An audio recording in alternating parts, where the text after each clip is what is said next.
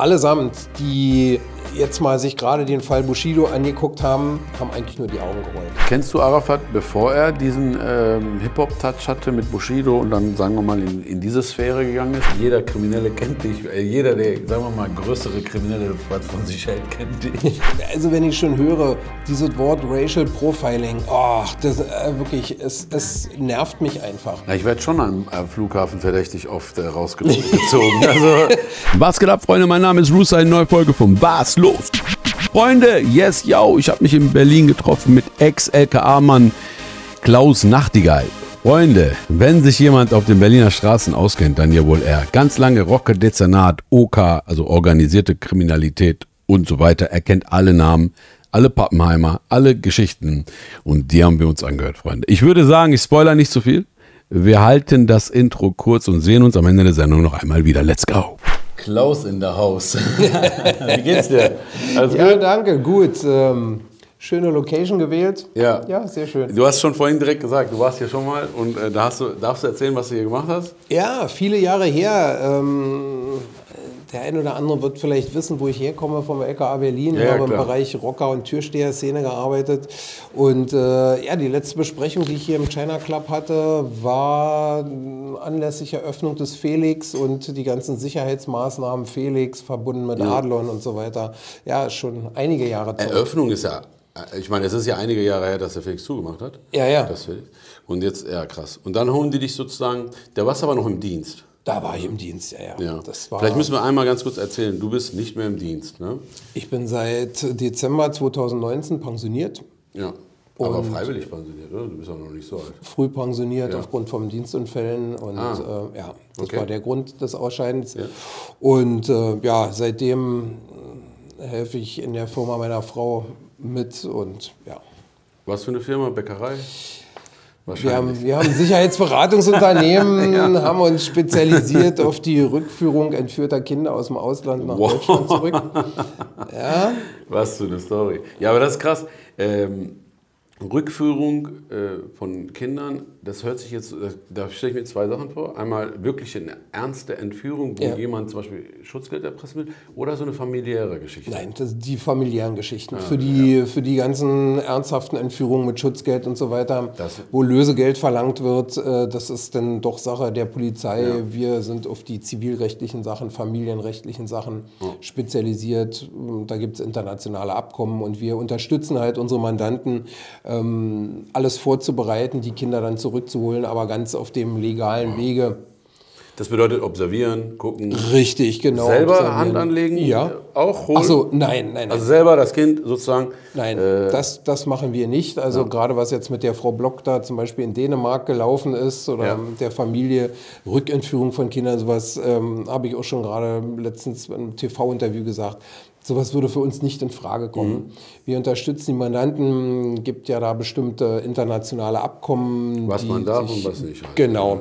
Und ähm, letztendlich die Kinder holt dann in der Regel die Polizei in dem Land, wo die mhm. Kinder sich aufhalten. Wir übernehmen die dann und unterstützen das alles. Ah, genau, also im Prinzip so ein bisschen wie ein Detektiv.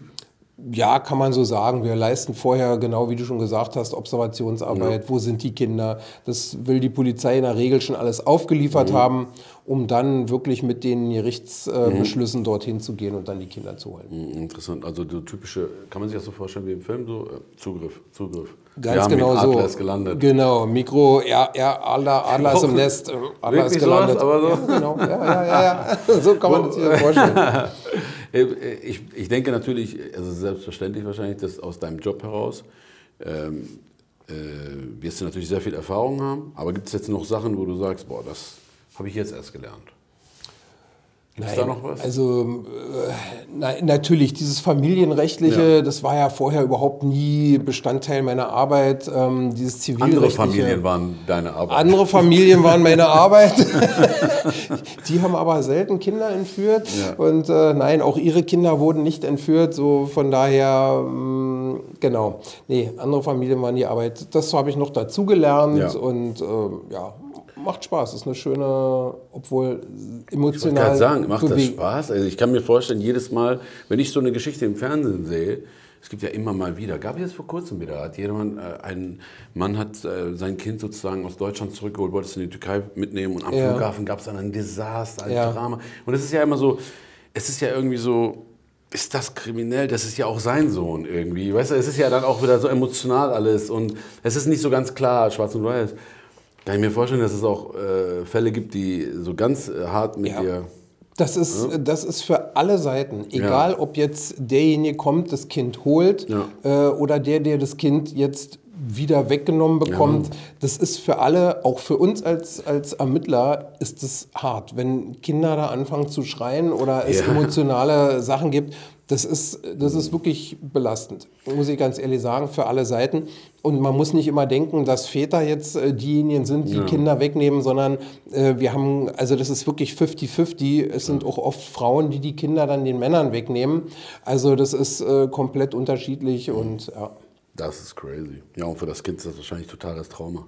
Ja, und das ist nämlich genau das Bemühen, dass man sagt, die Situation, wo man an das Kind herantritt, um dann mhm. eben zu eröffnen, so, du kommst jetzt zum Vater oder zur Mutter zurück, weil die Gerichte das mhm. so verfügt haben, ähm, da muss man eben sehen, dass man die beste, beste Umgebung hat, die beste Gelegenheit hat, um das Kind so sanft wie möglich das begleit, also zu begleiten und ja. ähm, heranzugehen. Kommt immer auf das Alter des Kindes drauf ja. an und so weiter. Wo sind die Kinder? Wo leben die? Wo, wo muss man die dann äh, ansprechen und wegholen? Also das ist schon sehr, man muss viele Sachen beachten. Mhm. Ja, verrückt. Im Vordergrund steht immer das Kindeswohl, ohne Frage. Ja, klar, ähm, äh, das sagst du, aber die Eltern, glaube ich, in dem Moment sehen das nicht so. Da ist, glaube ich, oder? Meistens Ego dabei, oder? Es, Meistens es, ist es ja auch dieses, den anderen verletzen, nicht das Kind wollen in erster Linie, so weißt? Es gibt Situationen, wo man schon sieht, das geht jetzt hier weniger um das Kindeswohl, es mhm. geht einfach nur um die Macht. Ich ja, habe genau. die Macht, dir das Kind wegzunehmen. Mhm. Und dann wird es wirklich schlimm und dann wird es auch hässlich. Ähm, es gibt auch äh, Sachen, die ich schon abgelehnt habe zu machen. Ach so, wo ja. du gesagt hast, das ist ja. schon. Geld hin, Geld her ja. spielt dabei keine Rolle, aber letztendlich für, für uns zählt das Kindeswohl. Wie, ist dieser Job, den du machst? Das, das ist ja dann Mundpropaganda, oder? Kann man dann googeln, äh, mein Kind ist entführt worden, was mache ich? Und ähm, findet man eine Seite? Oder wie, wie, also wie kommt man auf so einen Job, weißt du? In der Regel durch die Rechtsanwälte. Also ah, es, gibt, okay. es gibt wenige spezialisierte Rechtsanwälte in Deutschland, die sich um internationales Entführungsrecht kümmern. Das ist wirklich eine, eine, eine eigene Sparte.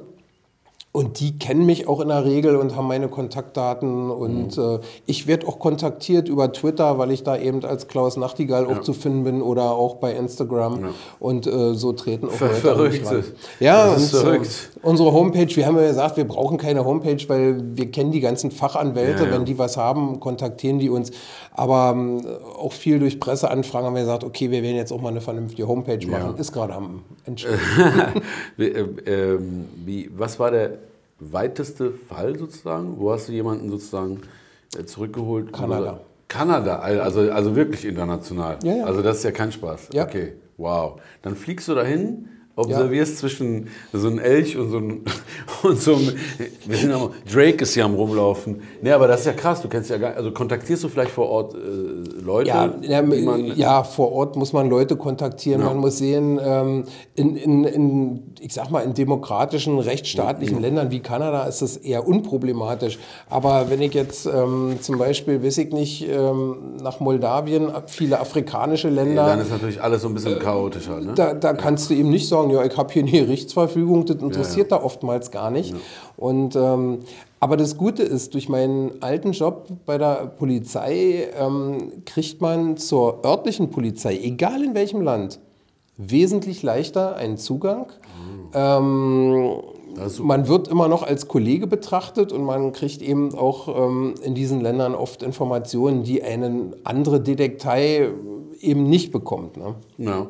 Ich habe tatsächlich vor kurzem, äh, ging, ich weiß nicht, ob du das gesehen hast, aber da, man, schade, das hätte ich eigentlich mitbringen müssen. Es gab einen Fall, äh, ein Mann hat nach zwei Jahren seine Tochter aus Mexiko zurückgeholt mhm. und die mhm. wurde jetzt nicht von Elternteil, sondern wirklich entführt. Ja. Und da, hat die, äh, da haben die Behörden in Amerika bis hin die hohe Behörden, auch bis hin zu FBI, haben gesagt, da keine Chance, äh, finden nicht. Und er hat sich dann alleine auf den Weg gemacht mhm. nach Mexiko, hat zwei Jahre lang gesucht und dann hat er die zurückgeholt. War eine ganz ist viral gegangen, die Geschichte. Crazy. Wenn, wenn die finanziellen Mittel da ja, sind, das ist ja das ähm, Problem. Ne? Das, das ist eben das Problem. Ich sag mal, der Otto Normalverdiener wird es sich kaum leisten können, zwei Jahre nach einem Kind in Mexiko zu suchen. Du musst Geld haben, du musst den Unterhalt haben, du musst in der Regel Leute bestechen. Ähm, ja. Da ist das volle Programm angesagt. Ne? Ja.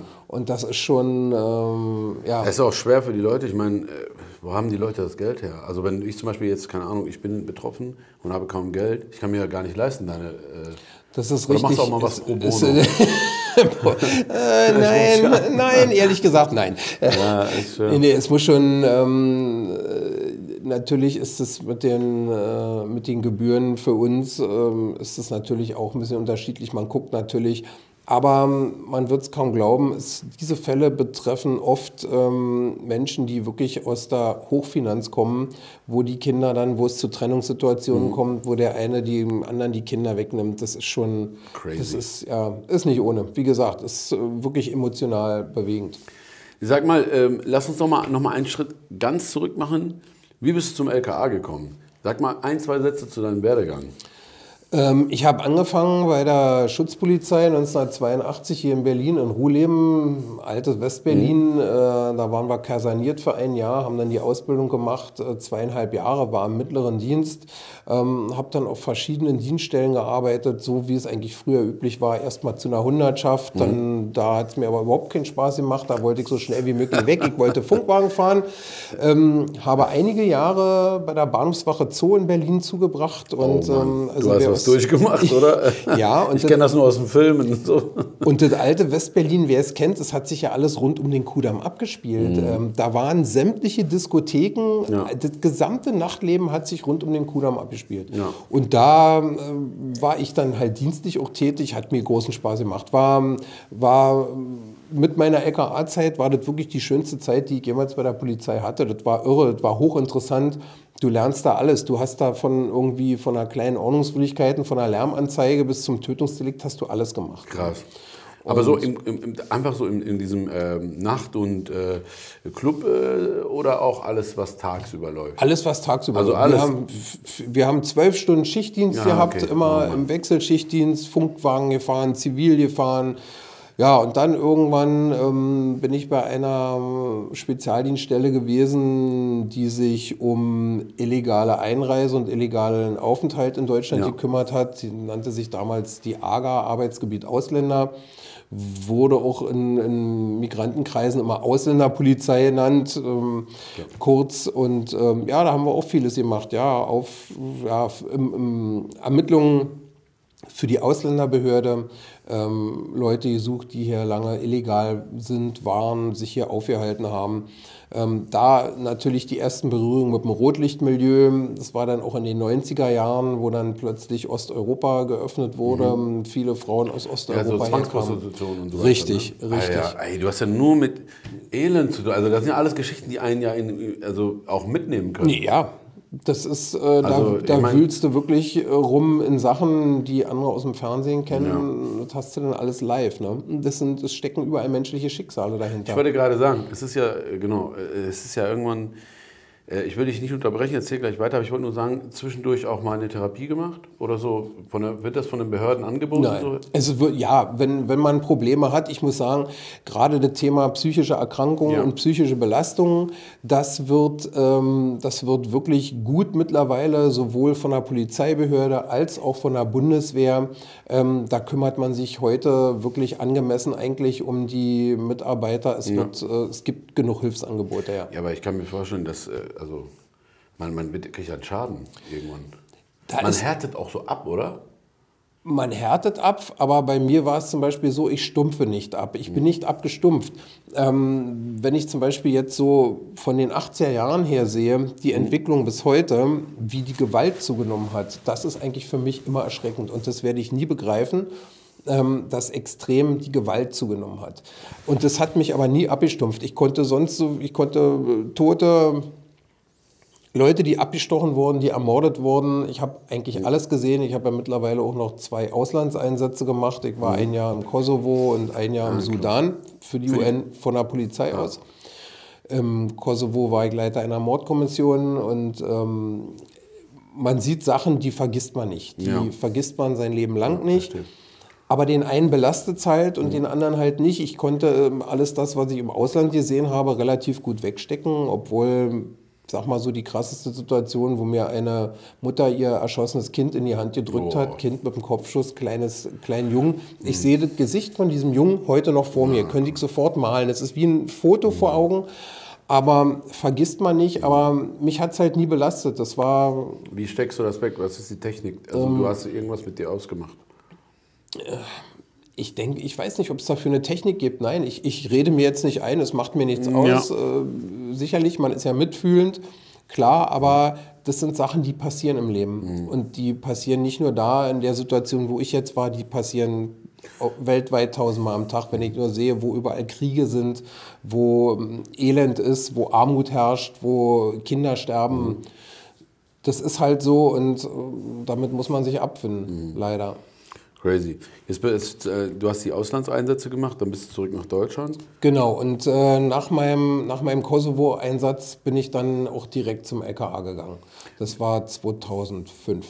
Achso, erst, also okay. Ja. Und äh, wie, ist das? Wird man dafür äh, angefragt? Hast du gefragt? Ist das eine innere, innere Ausschreibung sozusagen? Eine in- Ja, in- es in- gab, es gab, naja, ich hatte ähm, schon viel mit Kollegen vom LKA Verbindung und ähm, ja, die kannten meine Arbeit ähm, und haben mir gesagt, ja, du wärst genau für uns richtig und okay. so bin ich dann zum LKA gekommen. Und außer, dass äh, man mehr Geld verdient, was ändert sich dann, wenn man beim LKA Da verdient man gar nicht mehr Geld. Im Gegenteil. Bei der, bei der Schutzpolizei, die Schutzpolizei hat einen besseren Stellenkegel als die Kriminalpolizei. Das heißt, wäre ich bei der Schutzpolizei geblieben, Mhm. Also ähm, wäre ich vom Dienstgrad her äh, wirklich weiter dann gewesen und schneller. Ja, ja, das ist. Ich habe äh, immer das Gefühl, so von außen, LKA, so, das sind die Leute, die dürfen mit normale Zivilkleidung rumlaufen, auch coole Ja- Jacken tragen, machen immer Ein- Eingriff, einen Zugriff. Genau, genau. Und kriegen halt vor allem gutes Gehalt. Ich meine, da gibt es ja auch verschiedene Stufen wahrscheinlich noch. Ich habe immer gedacht, wirklich, das Nein, das die, ist, kriegen. ein Hauptkommissar bei der Schutzpolizei verdient genau das gleiche Geld wie ein Hauptkommissar bei der. Also bist du dann ein bisschen von deinem Lohn runter auch so? Also, also Nein, nein, nein, das ist, schon, das ist schon gleich geblieben. Okay. Ich bin weitergekommen, aber äh, wie gesagt, von den Stellen her, also bei der Schutzpolizei wird man in der Regel schneller befördert als Ja. bei der Kripo. Ah. Und jetzt bist du da, was ändert sich? Was, ist, was sind die Aufgaben? Was hat sich grundlegend geändert? Ja, mein Arbeitsgebiet war natürlich ein ganz anderes. Das ist ähm, in dem Moment, ich bin auch sofort zur OK-Abteilung gekommen, Direkt. direkt mitten rein. Aber das war schon immer, es zieht sich wie ein roter Faden. Ich Ja. habe, egal welche Dienststellen Du bist immer zum Schlimmsten gegangen. Ja, äh, ja, es hat mir auch Spaß gemacht. Ich, ich Ja, wollte ja, nie- klar, wahrscheinlich schon. Also Besser als irgendwie, keine Ahnung, Ja. äh, Führerschein äh, zeigen, einmal hier, ja, sind über Rot gefahren. Genau, Nee, nee, das klar. war eigentlich immer mein Ding. Ich wollte immer dahin, wo das Leben tobt. Ja, ja. Und äh, die Zeit vergeht auch wahnsinnig schnell. Dann, ähm, Klar, du hast Fälle, du hast, ja, äh, äh, erzähl mal ein bisschen aus der LKA-Zeit. Jetzt warst du 2005, bist du dahin, hast du gesagt? genau, Bis 2005. Zum, bis zwei, äh, wann hast du dich persönlich? Bis 2019. 18, 19. Genau. Bis dahin warst du da. ja, ja, durchgehend. Mann, und ähm, ja, habe angefangen bei der VP-Führung. Ja. Also ähm, das war eine sehr spannende Zeit. Und dann bin ich aber direkt ähm, zum Sag mal, was VP-Führung bedeutet. Vertrauensperson. Also das bedeutet Leute, die man, äh, die Genau. aus dem Milieu oder so dir Infos stecken. Genau, die, die wir zu den Familien hinschicken, horcht mal, was die alles machen und ähm, Ja. ruft uns an. Und, äh, ja. Ich meine, äh, ja, ich meine klar, allgemein hin äh, werden das Ratten genannt ich hörte davon. oder weiß ich nicht, äh, oder Snitch oder was weiß ich. Ja, ja. 31er sagt man so, was ja auch nicht ganz akkurat ist. Aber was mich interessiert hat, wie, was die Motivation und wie lernt man jemanden kennen, der sagt, ja, ich, äh, in Filmen ist das ja oft so, in amerikanischen Filmen. Bullen gehen irgendwo rein, packen den, hör mal zu, Johnny, siehst du diese Knarre hier, sind vier Kugeln drin, dafür kriege ich dich 20 Jahre in den Knast. Oder du packst aus. Also man hat so einen Hebel, man hat eine Ja. Drucksituation. Aber, ich, aber ich denke mal, in der Realität ist das was anderes. Wie kommst du zu jemandem, der dir Infos gibt? Das ist äh, oft, Also wie bietet oft, kommen, oft kommen Leute zu uns. Gut, bei, bei uns, bei mir war es jetzt nochmal die besondere Situation. Das war auch, ähm, das war auch innerhalb des LKAs gab es diese sogenannte, viele Leute werden es kennen, diese sogenannte BAO Rocker und Türsteher-Szene. Ja. BAO steht für besondere Aufbauorganisation, Rocker und Türsteher-Szene. Ähm, Im LKA Berlin hat man schnell erkannt, dass wir ein Problem mit Rockern haben, also mit Outlaw Motorcycle Gangs. Ich sage immer dazu, es gibt viele kuttentragende Motorradfahrer, die aber nicht alle gleichzeitig äh, kriminell sind, sondern das sind ja die wenigen. Und ähm, ja, und dann hat sich ja eine kriminelle Türsteher-Szene etabliert was sich heute auch sehr gewandelt hat. Äh, wir haben heute wirklich an den Clubs äh, viele seriöse Security-Firmen zu stehen, ganz seriöse Türsteher. Ähm, der Gesetzgeber hat nachgeschärft. Es, gibt, äh, es gab dann irgendwann die Bewacherverordnung, die eingeführt wurde. Mhm. Ähm, also da ist, hat sich viel getan in diesem. Und dadurch, dass ich nun immer operativ unterwegs war in den Nächten, ich, das war ja mein Job bin ja von einem Club zum anderen, ja, ja. Hab, kannte jeden Türsteher, die Clubinhaber.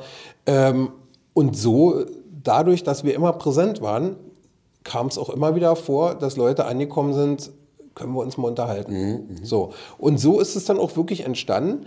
Ähm, man muss einfach mal sehen, so Informanten, das sind ja ähm, Leute, die oft auch was loswerden wollen, weil sie sagen, das stört mein Gerechtigkeitsempfinden, mhm. ich möchte das nicht. Ja, Oder ja. zu einem konkreten Fall, die wissen, da steht ein ja. Tötungsdelikt bevor und wollen das verhindern. Also, also äh, ja, also ja. Ich habe meine Karte, meine Visitenkarte gehabt, hab die, die, war ja über, die waren ja überall unterwegs in der Szene. Jeder mhm. kannte eigentlich meine dienstliche Erreichbarkeit, meine Handynummer. Und äh, ja, da hat es Tag und Nacht geklingelt. Also so ein, okay, der Fall ein intrinsischer Wunsch von innen heraus, Gerechtigkeitssinn. Ja. Aber es wird doch sicherlich auch Leute gegeben haben, die sich einen Vorteil erschaffen wollten, sozusagen Natürlich. die Konkurrenz wegsnitchen. So. Natürlich. Das gibt es ja die ganze Zeit. Das Aber wie, wie gehst du damit um? Du wirst das ja irgendwann spüren. Naja, das ist natürlich unser Job als, ja. äh, als VP-Führer. Wir müssen natürlich aufpassen. Ähm, wir wollen natürlich nicht ähm, eine kriminelle Gruppierung unterstützen und die andere dadurch ja. wegnehmen.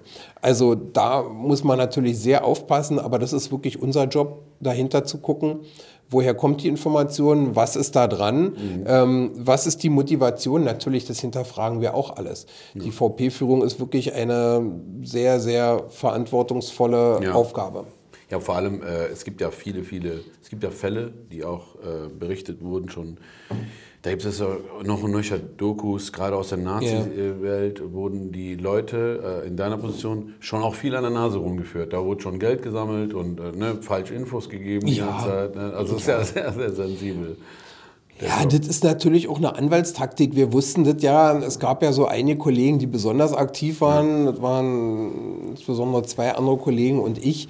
Ähm, da haben wir ja auch schon Informationen gekriegt. Du pass auf, ihr sollt angeschossen werden. Ah, okay. ähm, es werden falsche Informationen über mhm. euch ähm, verbreitet. Ähm, die Anwälte haben ihren Mandanten geraten, pass mal auf, äh, ihr werdet wahrscheinlich abgehört, unterhaltet euch mal am Telefon über ja, Nachtigall, ja, ja. Ähm, dass der, weiß ich nicht, äh, saufen geht, besoffen Auto fährt, irgendwo, ähm, irgendwo schlimme Sachen macht, selber Rauschgift konsumiert oder, oder, oder. Mhm. Das ist ja alles gelaufen. Ne?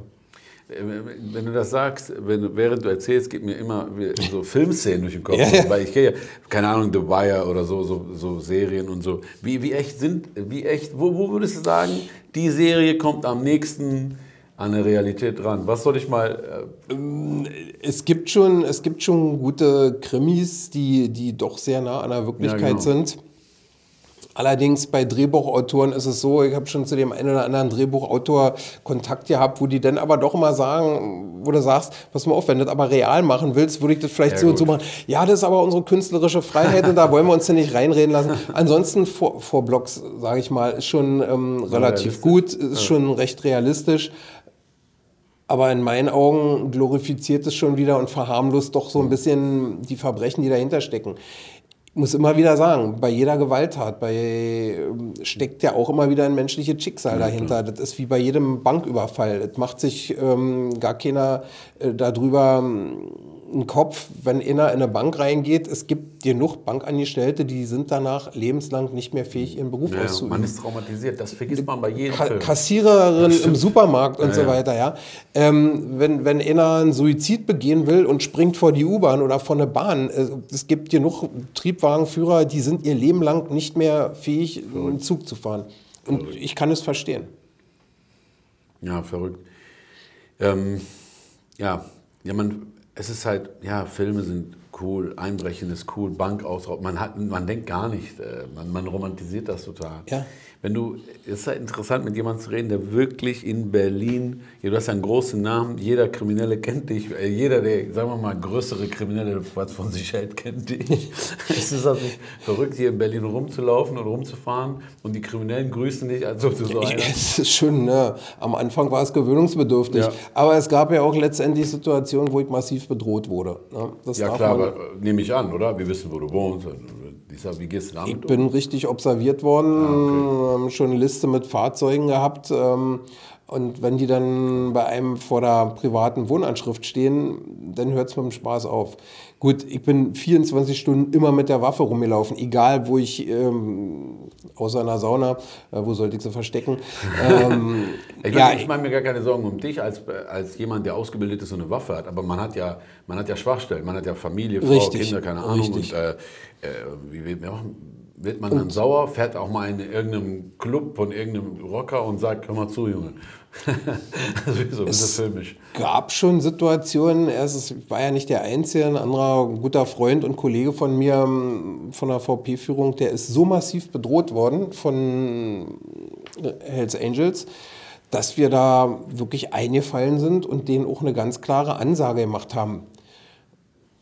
Gefährderansprache nennt man so etwas. Ja, ähm, ja, und wir finden da deutliche Worte. Aber ähm, das habe ich auch gemacht, auch im Nachtleben, auch gerade jetzt im Bereich ähm, kriminelle Clans, wie es immer so schön heißt. Äh, den einen oder anderen habe ich mir wirklich gegriffen. Da brauchte ich keine große Verstärkung dafür und ähm, habe denen dann wirklich Ansagen gemacht mhm. und zwar richtig wirksam. So, pass auf, mein Freund, sollte da irgendetwas passieren in diesem Bereich, sollte hier einer zu Schaden kommen. Ähm, dich stellen wir auf den mhm. Kopf und deine ganze Familie und eure Wohnungen, ihr werdet nicht mehr glücklich. Mhm. In der Regel sind diese Gefährderansprachen ein sehr wirkungsvolles Mittel. Ja. Weil die Leute natürlich keinen Bock haben, wenn irgendetwas passiert, dass sie auf links gedreht werden und sich überhaupt nicht mehr vernünftig ja. bewegen können, ohne dass wir irgendwie an Ja, man will schlafende Hunde nicht wecken. Dann, ne? Aber das machen ja immer wieder Leute falsch an, oder? Strategisch. Weil ich, ich denke mir, wenn, äh, wenn ich äh, zu einer kriminellen Crew gehören würde, dann ähm, wäre ich äh, silent. Ich wäre immer, also ich würde gar nicht mit einem dicken Auto rumfahren, ich würde gar keine dicke Uhr tragen. Ich, ich finde das manchmal äh, widersprüchlich. Ich verstehe aber natürlich, dass man es auch zeigen will, was man geschafft hat. Man will ja, ja stolz äh, auf das Geld und so, aber, aber das ist ja irgendwie dumm. Also irgendwie, du, du kannst ja mit deinem Blick, ich meine, ich kann das ja schon und du bist ja Experte, du weißt ja schon genau, wie hat der denn das Geld für diesen Band so mäßig? Und dann wirft man mal zwei Augen drauf und dann observiert man, keine Ahnung, eine, eine, eine TÜ, wie ihr sagt. Ja, und dann da hat man es relativ schnell, oder? Verfolge den Weg des Geldes. Ja, und follow the money, ja, ja. easy. Ja, und so ist es auch tatsächlich. Und ähm, ich sag mal, gerade im Rotlichtbereich, früher so in den 60er, 70er Jahren, hast du die Zuhälter gehabt, die mit ja. so einer Rolex rumgelaufen sind, wo jeder gleich wusste, aha, wer ist es? Hier in Berlin hatten wir das auch zeitweilig, aber das hat man sich dann abgewöhnt. Ja. Ähm, also die intelligenten Leute, die irgendwelche ja. Geschäfte machen, die sind genauso wie du sie beschrieben hast. Du wärst ein intelligenter äh, Man weiß Verbrecher es nicht. wahrscheinlich. Ich habe ja nicht so viel Geld. Man weiß es nicht. Das Geld verändert einem manchmal auch. Ne? Mit dem Zeit, ja, und, ja. Äh, ja, und einige immer wieder konnten es dann halt nicht äh, aushalten, mussten zeigen, wer bin ich, dicke Autos, ja. möglichst lauter Auspuff und ja. äh, schon geht's los. Jetzt ja, muss, das ist für uns natürlich. Jetzt muss man sagen, äh, jetzt gibt es ja, äh, Entschuldige ganz kurz nur hier, jetzt muss man sagen, es gibt ja jetzt auch ähm, von der Justiz seit ein paar Jahren diese Follow-the-Money-Prinzip, dass man, also äh, du musst mir helfen. Gesetzlich war es ja so, ich muss nicht beweisen, wo ich mein Geld habe. Mhm. Du musst mir beweisen sozusagen, oder der Staat muss mir nachweisen, dass ich eine Straftat begangen Richtig. habe. Jetzt gibt es da so ein bisschen eine Umkehr daran. Ne? Kannst du dazu mal ja, es gibt äh, die sogenannte Beweislastumkehr. Das heißt, inzwischen muss, wenn irgendwo bestimmte Geldbeträge aufge aufgefunden werden oder wenn jemand eine bestimmte Immobilie kauft, ähm, muss er auf Nachfrage erklären können, woher stammt das Geld. Okay, crazy. Das muss wirklich komplett zurückzuverfolgen sein. Mhm. Sollten da Zweifel sein, kann das Geld eingezogen werden. Wir haben noch nicht die ganz klaren Gesetze, wie sie zum Beispiel in Italien, ähm, die Anti-Mafia-Gesetze, mhm. die sind natürlich... Ähm, die sind natürlich ja, die sind ja die Profis. Die sind wirklich die Profis. wissen, wie das geht. Ja. Und die Italiener, wenn man sich mal so jetzt ähm, von den 60er Jahren bis zu heute das alles anguckt, die Entwickler, die, äh, die mhm. Entwicklung, die Mafia-Bekämpfung, ja. also da kann jedes europäische Land eigentlich nur lernen die mussten das ja auch. Also es ist ja, also ne, einerseits schön, aber andererseits, sie haben ja auch das Problem. Also, Natürlich, es, also, es gab so viele Tote ja. und in Italien selber, die Bevölkerung war ja langsam sauer. So viele Mütter haben eben ihre Söhne geweint, mhm. äh, weil die von der Mafia ermordet wurden. Ja. Ähm, selber dann Mitglieder waren, natürlich in der untersten Ebene, die waren für die Dreckarbeit da. Ja. die hat natürlich dann immer, waren die, die zuerst dran glauben mussten. Ja, Italien hat es uns vorgemacht. Ähm, bei uns gibt es noch deutlichen Nachbesserungsbedarf. Äh, ja. Ähm, wir wünschen uns da eigentlich als Strafverfolger natürlich ähm, noch bessere Gesetze. Ja, klar. Genau, kämpft die, ja so ein bisschen, es ist ja so ein bisschen äh, Katz und Maus. Ne? Richtig. Ihr bekommt ein bisschen Regeln, könnt ein bisschen, die anderen lernen aber noch dazu. Und jetzt kommt noch das Internet, Krypto, keine Ahnung. Dafür habe ich ja auch die ganzen, dafür sind ja auch die ganzen Rechtsanwälte da, um genau diese Lücken aufzuzeigen, ihren Mandanten und sagen, ja, mach's doch so oder so oder so mhm. und dann funktioniert's. Ähm, das ist natürlich eine Sache, wo wir dann hinterher sind. Man hat natürlich auch im Bereich der Rechtsanwälte, der Notare immer wieder ähm, Leute, die den Boden der Legalität verlassen. Ähm, weil auch ein Rechtsanwalt ähm, darf seinen Mandanten natürlich nicht ähm, aufzeigen, wie es funktioniert, um dann doch Straftaten zu begehen. Mhm. Wir haben bei Rechtsanwälten genauso die Geldwäsche. Geldwäsche ist ja eine der ganz großen Themen und da hat mhm. Deutschland deutlichen Nachholbedarf. Deutschland ist einer der Hauptrückzugsländer für die italienische mhm. Mafia. Krass. Wir haben ganz viele Mafiosis in Deutschland, die hier einfach, die hier kaum ihre Geschäfte machen, aber teilweise ihr Geld anlegen. Ähm, da mhm. ist noch, da haben wir noch ganz großen Nachholbedarf in Deutschland, ähm, was die Geldwäsche angeht. Und da fange ich zum Beispiel jetzt auch mal wieder an, gleich zu gucken, bestimmte Rechtsanwälte. Wir haben immer wieder in den großen Verfahren der organisierten Kriminalität dieselben Anwälte wahrscheinlich. Dieselben ja, Anwälte. Hier in Berlin sind das mal so zehn Anwälte, die ich sofort aufzählen könnte. Wo man dann sich natürlich fragt, wie kommt denn das? Der Mandant ist ja offiziell nicht berufstätig, hat offiziell kein Einkommen, kommt aber mit zwei Anwälten an, wo ich weiß, bei dem Anklagepunkten hat der locker für jeden Anwalt erstmal 20.000 Euro in Bar auf die Tische gelegt, bevor fangen die ja nicht an zu arbeiten. Die, die, arbeiten nur gegen Vorkasse. Ja. Und dann möchte ich mal sehen, wie viele Quittungen dafür ausgestellt wurden oder wo die Honorare überwiesen mhm. wurden. Sowas gibt es eigentlich nicht. Und hier sollte natürlich auch der Staat und die Justiz schnell nachschärfen und sagen, ähm, alle Anwaltshonorare dürften eben, äh, darf nicht mit Bargeld gearbeitet werden, es darf ja. alles nur über die Konten laufen. Ja, aber kann man da nicht hingehen? Und also gibt es da nicht die Gesetze für? Der Gesetzgeber müsste, das ist wirklich eine Sache der Politik, das liegt jetzt nicht an den Strafverfolgungsbehörden, das ist wirklich eine Sache der Politik, hier dringend nachzuschärfen im Bereich der Geldwäsche. Und so weit sind wir leider noch nicht. Da gibt es offensichtlich genug Interessengruppen, die auch von Politikern vertreten werden ähm, ja, das, wollte ich gerade fragen. Das wollte ich gerade fragen. Jemand wie du, der äh, also äh, auf der Ebene, wo du bist, hast ja direkt mit den Leuten zu tun. Du, du hast eine gute Beobachtungssituation. Äh, du siehst es, du erklärst. Warum hat die Politik da, warum machen die nichts? Also warum glaubst du, also du hast gerade schon gesagt, Interessensgruppen, Lobbyismus, ja. keine Ahnung. Äh, ja. Ich meine, es scheint ja wohl irgendwie klar zu sein, wie man da vorgehen könnte. Es ist im, das wäre relativ relativ einfach, mhm. aber dann hat man wieder Koalitionen, die irgendwo sind. Mhm. Ähm, dann kann die eine Partei möchte da eine Nuance das anders ja. haben als die andere Partei. Die möchten, ähm, wir sehen es ja einfach nur äh, hier in Berlin, Rot, Rot, Grün, was wir die ganze Zeit hatten. Ähm, ich sage auch immer wieder, das ist eine verlorene Stadt hier. Hier ist, hier ist Wildwuchs und, ähm, und die, politische, die politischen Parteien waren nicht willens und in der Lage, hier irgendetwas zu ändern. Im Gegenteil, man hat Gesetze entschärft. Aber ähm, warum aber? Also was ist der Sinn dahinter? Es muss ja irgendeine Idee dahinter geben, wenn man was entschärft. Ja. Was, was ist denn da?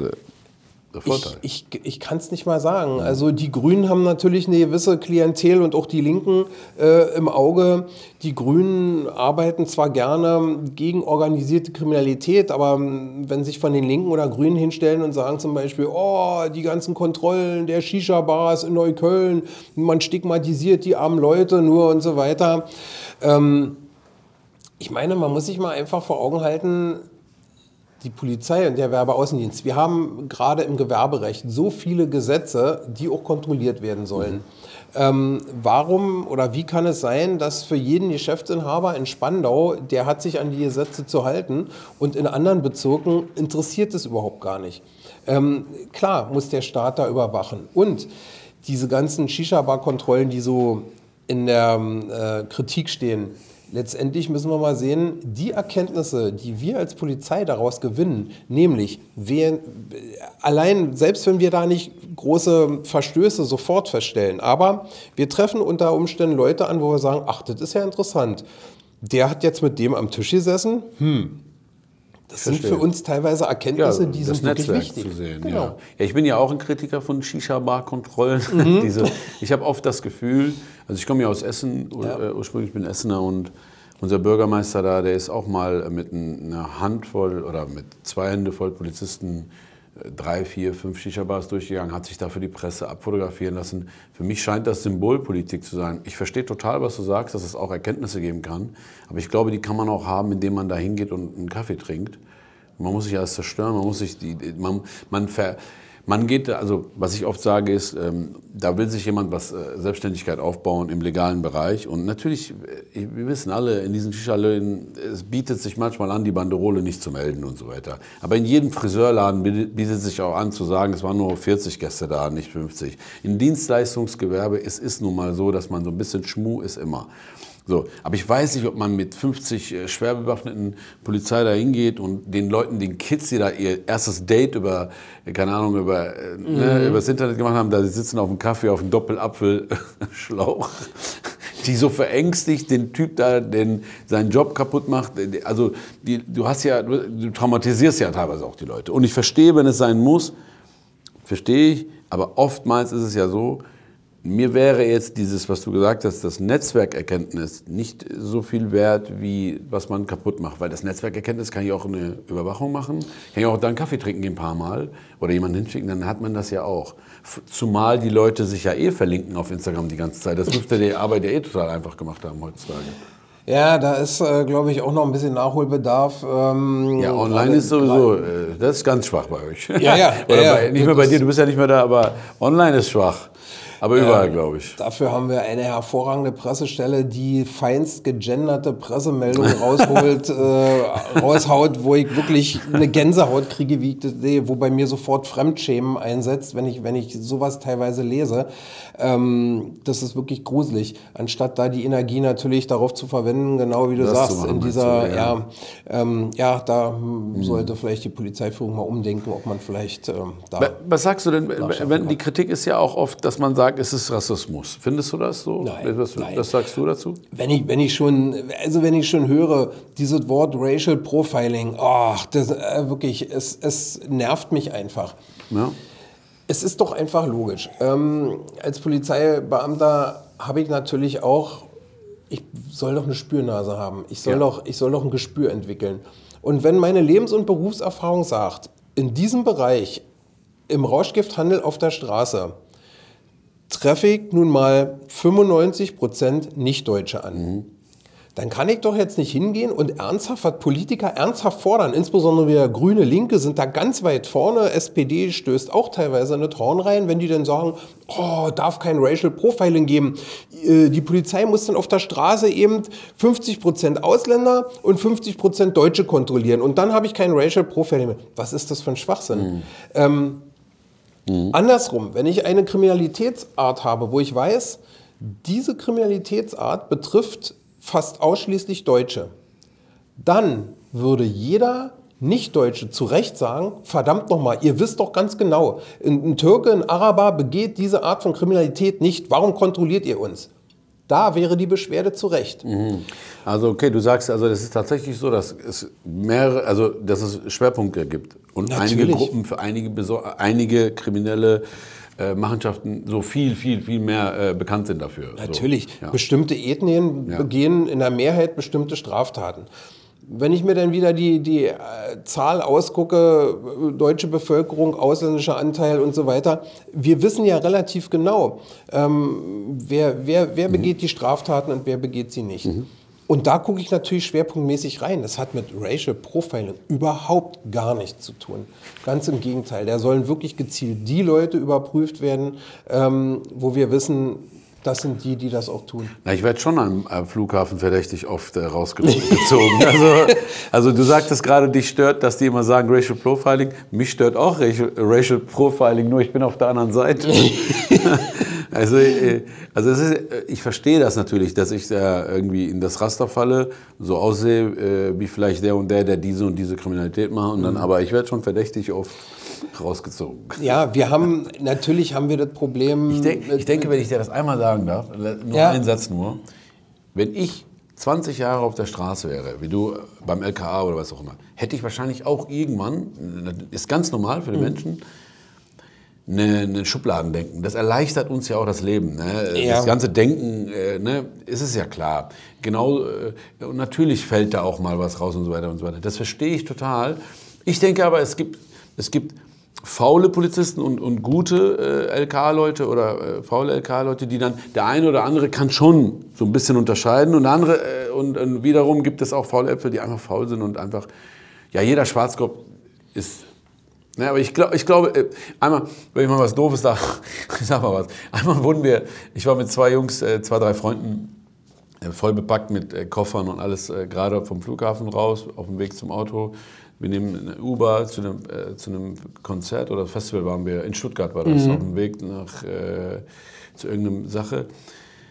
Und wir sahen alle aus, äh, nicht wie Kriminelle. Alle hatten irgendwas, keine Ahnung, coole Klamotten an, eine coole yeah. Tasche. Der eine hatte eine teure Rolli. Und dann wurden wir eingekesselt von äh, zivilen Leuten, äh, die uns dann äh, wirklich bis zu Shampoo aufmachen auseinandergenommen haben. Dann habe ich den Typen irgendwann gesagt, hast schon mal einen Kriminell, äh, nicht kriminell, er sagte, suche nach Terroristen, weil da irgendwie zu dem Zeitpunkt irgendwas in Europa passiert ist und die haben okay. jetzt so ein Auge dafür. Habe ich, hab ich ihm gesagt, also Kriminelle mit Rolli hast du bestimmt schon gesehen. Aber ich habe ihm gesagt, hast du schon mal einen Terroristen gesehen, der eine terroristische Tat vorhat, der so eine Rolli anhatte? Weil ich, ich nehme an, die haben nichts mehr an. Also da geht es ja nur noch um, also die lässt er vielleicht der Familie zurück. Ja, yeah, der Familie also, zurück. Also da habe ich mir gedacht, der ist einfach faul, weil man sieht uns ganz klar an, wenn du ein bisschen Ahnung hast, dass wir keine terroristische Akt vorhaben. Aber ja, wir sind, also, also weiß ich nicht. Da habe ich manchmal das Gefühl, die Raster und, und in, in, in diese Schubladen, wahrscheinlich ist das normal, dass man irgendwann so denkt, in jeder Berufsgruppe.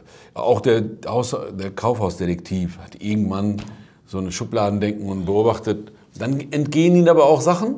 Ja, ja, na klar. Aber so entsteht das ja. Das Problem ist ja gerade, da würden wir wahrscheinlich jetzt auf den islamistischen Terrorismus zurückkommen. Das ist genau. ja einer der perfidesten, schlimmsten Terrorismus ja. allgemein, jetzt uh, unabhängig vom islamistischen. Wir hatten auch, äh, wenn wir in die deutsche Geschichte gucken, wir hatten ja nur viel, wir hatten die RAF in Deutschland, ja. die ähm, viele Menschen umgebracht haben. Und ähm, aber wir haben natürlich weltweit ein Problem mit dem islamistischen Terrorismus. Mhm.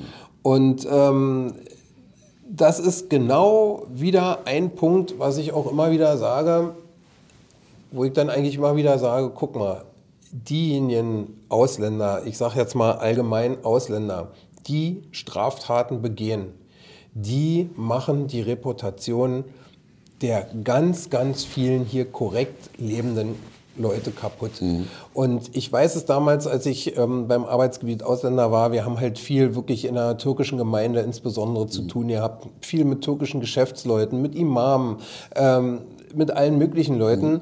ähm, die uns angesprochen haben. Und damals gab es auch gerade in Deutschland diese Diskussion, wie gehen wir jetzt mit ausländischen Straftätern um. wo wirklich uns türkische Geschäftsleute angesprochen haben, Familienväter, die gesagt haben, Klaus, wie kann es denn sein, dass Deutschland es sich gefallen lässt, dass unsere Landsleute hier so kriminell sind und sie werden nicht abgeschoben. Mhm. Warum dürfen die hier bleiben? Mhm. Die machen unseren Ruf kaputt. Mhm. Und das ist genau das Problem. Und das sehen meines Erachtens viele Politiker einfach nicht, mhm. was wirklich die, die Sauerei ist. Von den ganzen hier lebenden Ausländern, äh, denke ich mal, sind 95 Prozent die, die hier ganz ordentlich und korrekt mhm, leben, ja. die hier arbeiten, ihre Steuern bezahlen. ja, es ist immer eine kleine extreme Gruppe, die aber den Ruf halt komplett Und die den Ruf von und die halt auch in den Medien stattfindet. Die Medien funktionieren genau. ja auch so nach, die wollen ja auch ihre, ihre Blätter verkaufen, dann über, genau. überdramatisieren die alles und so weiter. Wenn ich das als Deutscher jetzt zum Beispiel sehe und sage, zum Beispiel in Thailand, ob das jetzt, weiß ich nicht, in Pattaya oder sonst wo ist, oder Dominikanische Republik, mhm. ich habe so bestimmte Rückzugsorte für deutsche Kriminelle. Mhm. Die hauen dann aus Deutschland ab, lassen sich irgendwo im Ausland nieder. Ja, um Gottes Willen, wie peinlich ist es mir als Deutscher, so einen Leuten zu begegnen. Ich, oh, ich finde es fürchterlich. Und da sage ich genauso als Deutscher, egal wo ein Deutscher im Ausland, egal in welchem Land ein Deutscher Straftaten begeht, sperrt sie weg, sperrt sie richtig lange weg und schickt sie sofort zurück nach Deutschland. Die sollen unseren Ruf als Deutsche in der Welt nicht mhm. kaputt machen. Die, auf die müssen wir hier aufpassen in Deutschland und nicht im Ausland. Mhm. Interessante Sichtweise. Ja. weil, weil Deutsche ja äh, genauso auch wie alle anderen haben ja auch ähm, verschiedene, sag ich mal, verschiedene Rufe sozusagen. Es gibt den guten Ruf, den Deutsche haben äh, auf der Welt. Ne? Das hat viel mit äh, ne, Wirtschaft, Produkte und ja. so weiter und so weiter. Aber jetzt äh, auf Malle habt ihr jetzt zum Beispiel keinen guten Ruf. zu Recht, zu Recht. Äh, wenn ich das sehe. Aber man sagt ja immer, wir schicken nicht die Schlausten. ja. Also salopp gesagt. Äh, aber sag mal, es gibt doch auch diesen, äh, diese, diese Taktik, nur um, um jetzt nicht, ich will dieses Thema nicht überstrapazieren, aber noch einen Punkt, diesen Satz äh, einen Satz zu diesem Punkt. Und zwar, ähm, natürlich ist, äh, ich verstehe das, man, man hat Schubladendenken und dann geht man mal hier auch mal, dann geht man mal in einem Laden rein, wo wahrscheinlich gar nichts passiert ist, aber dann hat man die leider in einem Raster drin gehabt. Aber was ist mit, wenn Politiker wirklich, oder nicht Politiker, sondern einer, einer eurer damaligen, ich weiß nicht, äh, wer war das, Roll, Roll, Roll, der das gesagt hat mit den Nadelstichen? Ich meine, der, der sagt, ähm, das, der sagt das so richtig. Das ist ja, das ist ja offensichtlich, mhm. dass das viele treffen wird, die unschuldig sind und man deren Business äh, auch ähm, aufrüttelt. Da gibt es ja viele Berichte. Ich meine, äh, wie heißt das nochmal, was er gesagt hat? Das System der Nadelstiche. Das heißt, man nervt die Leute so lange, bis dann was, man haut so lange ähm, drauf, bis was rauskommt. Aber das kann ja, das kann es ja nicht sein. Du Reul hat aber immer gesagt, die Nadelstiche in den Bereich der organisierten Kriminalität setzen. Ja, aber ist eine Shisha-Bar eine organisierte Kriminalität? Ich war also Frage. Doch, wir haben, ja, klar, wir haben Rückzugsorte, wo wir genau, wir haben bestimmte Locations, ja. ähm, Rückzugsorte, wo wir genau wissen, hier treffen sich immer bestimmte ja. Personen. Die gehören ganz sicher zum Bereich der organisierten mhm. Kriminalität. Wir haben so und so viele Läden daneben, wo nicht die typischen Treffpunkte ja. von denen sind, wo sie aber auch immer wieder mal ausweichen. Wir haben, ah. haben Observationen belegt. Wir haben gerade im Bereich Neukölln ich kann jetzt natürlich hier nicht zu viel verraten, naja. weil ich darf natürlich auch keine Dienstgeheimnisse verraten, ja. logisch. Aber wir haben Bereiche in Neukölln gehabt, wo wir bestimmte Tatverdächtige observiert haben, wo wir gesehen haben, immer dort ist der Sammelpunkt. Und wenn sie dann bestimmte andere Sachen zu besprechen hatten oder Leute mhm. getroffen haben, Kontaktleute, dann sind sie plötzlich drei Läden weiter marschiert und haben sich da reingesetzt, mhm. wo sonst eigentlich nie was war. Und das ist der Punkt, wo wir sagen, nein, wir müssen das alles mit kontrollieren. Es kann wirklich in dem Zufall so sein, wir gehen da gerade rein. Wir brauchen nicht vorher anfangen zu observieren. Wir müssen halt mit den Kräften reingehen, müssen gucken, mhm. was ist da los. Mhm. Ähm, weil wenn wir anfangen, da vorher vorbeizulaufen, vorbeizufahren, naja, observieren, wir, wir fallen auf. Naja, alle sagen gleich, uh hm. Also das, das, ist, das muss man auch einfach mal sehen, das steckt auch dahinter. Ja, dass, also dass nicht immer alles hundertprozentig von Seiten der Polizei aus gut läuft, das versteht sich von selber. Mhm. Wo, wo in der Behörde arbeiten Menschen und Menschen machen natürlich mhm. auch Fehler. Ohne Frage. Hm, sag mal, äh, mich interessiert natürlich auch so, wenn, wenn wir schon jemanden hier haben, so einen Experten wie dich, mich interessiert auch natürlich die coolen Stories so. Du musst mir mal erzählen, gab es auch mal jemanden in, äh, in, deine, in deiner Behörde oder vielleicht aus euren Reihen, der mal korrupt wurde? das aufgeflogen ist, der irgendwie kriminell mitgemacht hat, sich bestechen hat lassen oder sowas? Ja, und das gab es ja nicht nur einmal, das gab es äh, oft. Und das Thema Korruption ähm, ist ein sehr ernstzunehmendes Thema. Ähm, nicht nur bei der Polizei, auch in der Politik, in der Justiz, überall. Ähm, Stichwort Justiz, JVAs. Ähm, ja. Immer wieder kommt es vor, dass ähm, da jemand schwach wird und Häftlinge mit, äh, weiß ich, mit Betäubungsmitteln versorgt, mit Handys versorgt und so weiter. Ähm, das gibt es natürlich bei der Polizei ja. auch. Ja.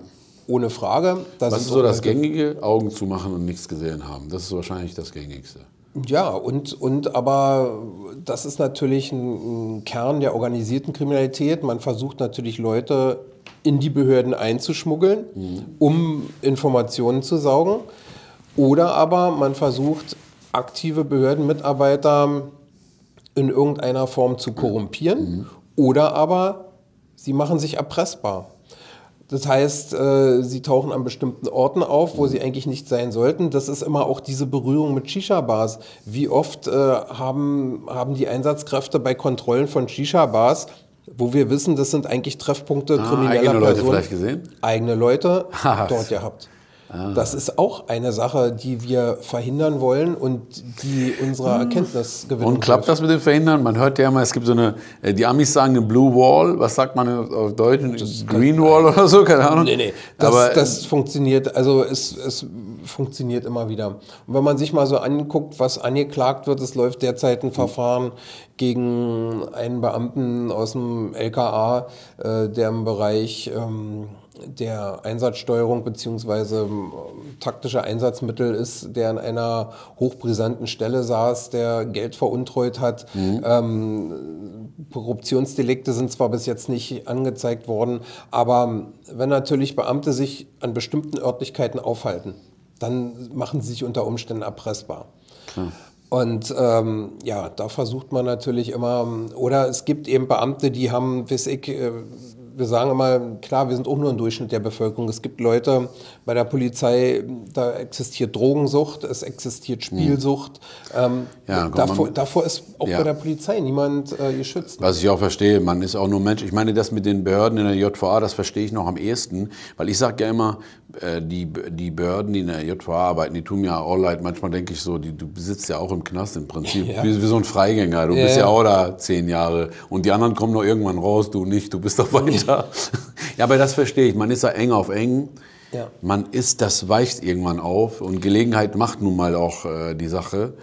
Und das verstehe ich schon, wenn man lange zu tun hat. Wurde dir denn schon mal was angeboten, so irgendwas, Geld oder irgendwas? Hey, nee. hey also Klaus, also, mach doch mal hier Klaus, wir kennen uns doch. Bei, der, bei einer Verkehrskontrolle tatsächlich ähm, war ein aus, aus, einem aus einem osteuropäischen Land ja. einer, den haben wir bei einer Rotfahrt erwischt und äh, der hat äh, durch, durchs offene Fenster vom Funkwagen hat der mir 100 Mark äh, hingelegt. 100 gesagt, Mark, das ist heute 5000 Euro. Äh, das ist richtig viel Geld.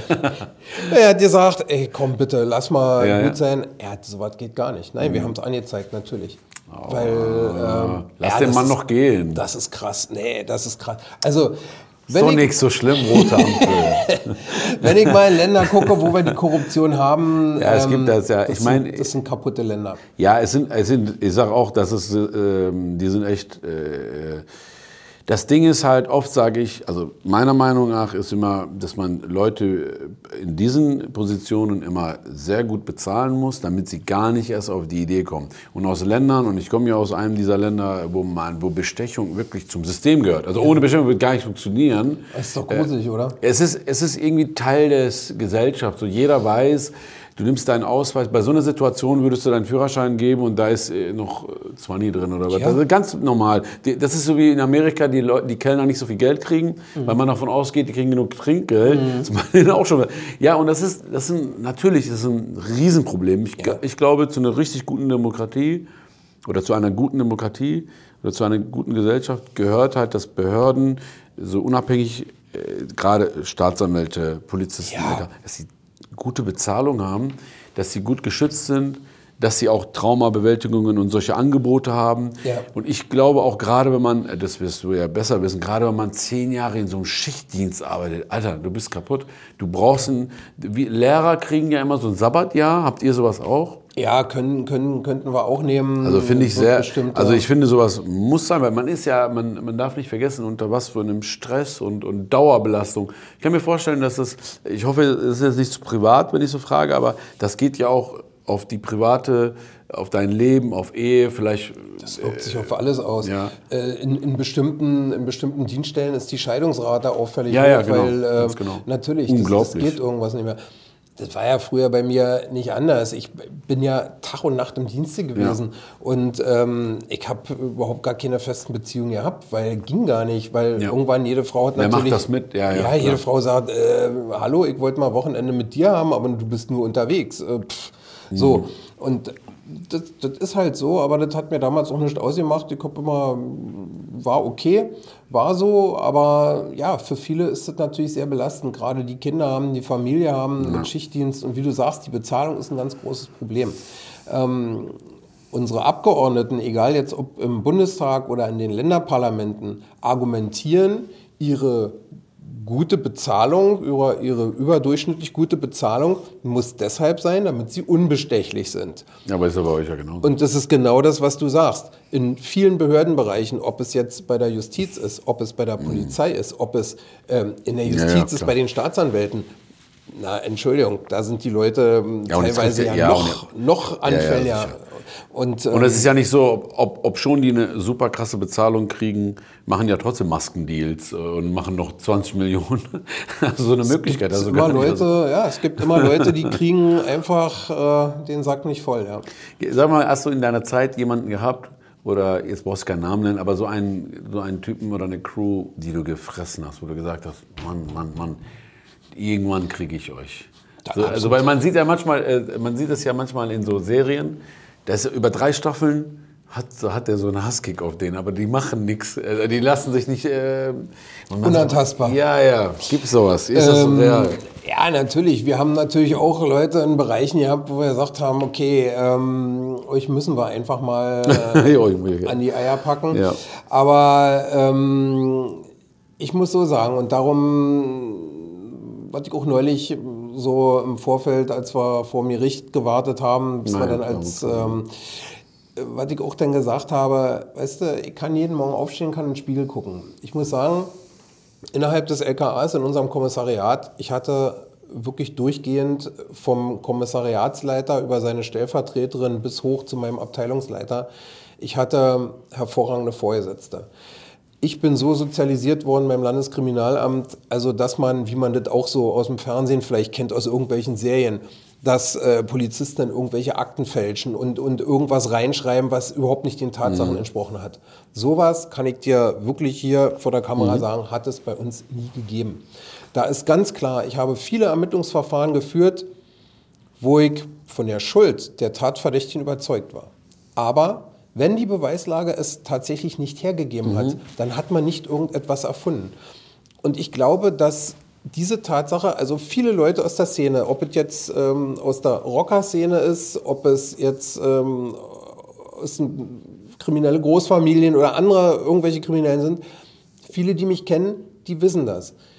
Jeder weiß eigentlich, dass ich nicht link war. Mhm. Und äh, sowas gab es in unserem Kommissariat nicht. Wenn da etwas nicht, dann haben wir auch geschrieben, weitere Beweise, weitere mhm. Ermittlungsanhalte bestehen hier nicht und bitten um Einstellung des Verfahrens, sonst haben sie an die Staatsanwaltschaft Obwohl du das Gefühl hattest und obwohl, und, obwohl man auf der Straße so gehört hat, ja. Äh, wer die Münze geklaut hat, ist klar, aber das müssen wir erstmal beweisen. Richtig. Und, und das macht unseren Rechtsstaat aus. ja, und aber auch, das ist ja gut so eigentlich. Also korrekt, wenn du so gearbeitet hast. Natürlich. Man wenn, kennt das auch anders. Auch wenn man genug, äh, zähneknirschend dasteht, ja, ja, aber so ist der Rechtsstaat und das ist so. Das ist ja genauso wie jetzt mit dem Urteil mm, in Sachen Abu Chaka. Ne? Ja. Ähm, ich persönlich, das ist rein meine persönliche Überzeugung, ähm, die sind für vieles gut, die haben viele Sachen gemacht, mhm. wir haben viele Informationen gehabt, was alles gelaufen ist im Bereich organisierte Kriminalität, weiß ich, wie sie arbeiten, mit Gewalt, mit Drohung von Gewalt, mit Einschüchterung von Zeugen und, und, und, und. Und das ist eine Sache, Ähm, das Gericht hat jetzt so entschieden. Mhm. Ich finde, das Signal, was nach außen gesendet wurde, gerade im Hinblick so auf die Jugend oder auf so Schwellentäter, ja, Nachwuchsgangster, ja. finde ich fatal. Aber ich finde die Begründung der Kammer, ich habe da sehr genau zugehört, die finde ich durch und durch nachvollziehbar. Mhm.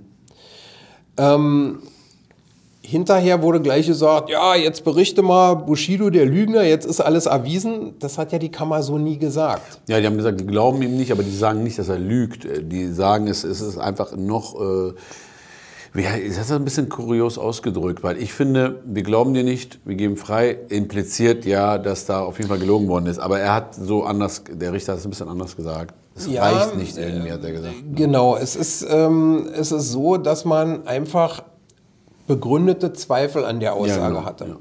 Ja. Ähm, Und die, die, Motivation war in Frage. Die Motivation dadurch, dass ähm, Anna-Maria auch im, im, Gerichtssaal gesagt hat, euch bringe ich alle in den Knast und so weiter.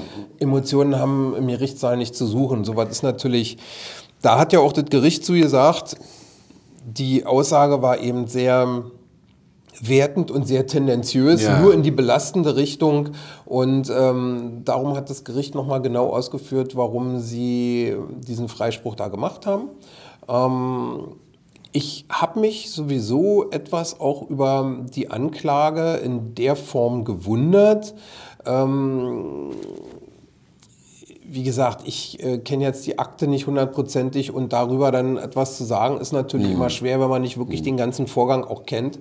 Ja. Ähm, aber ähm, zur, Staats zur OK-Staatsanwaltschaft Berlin muss man natürlich auch mal so das Gesamte sehen.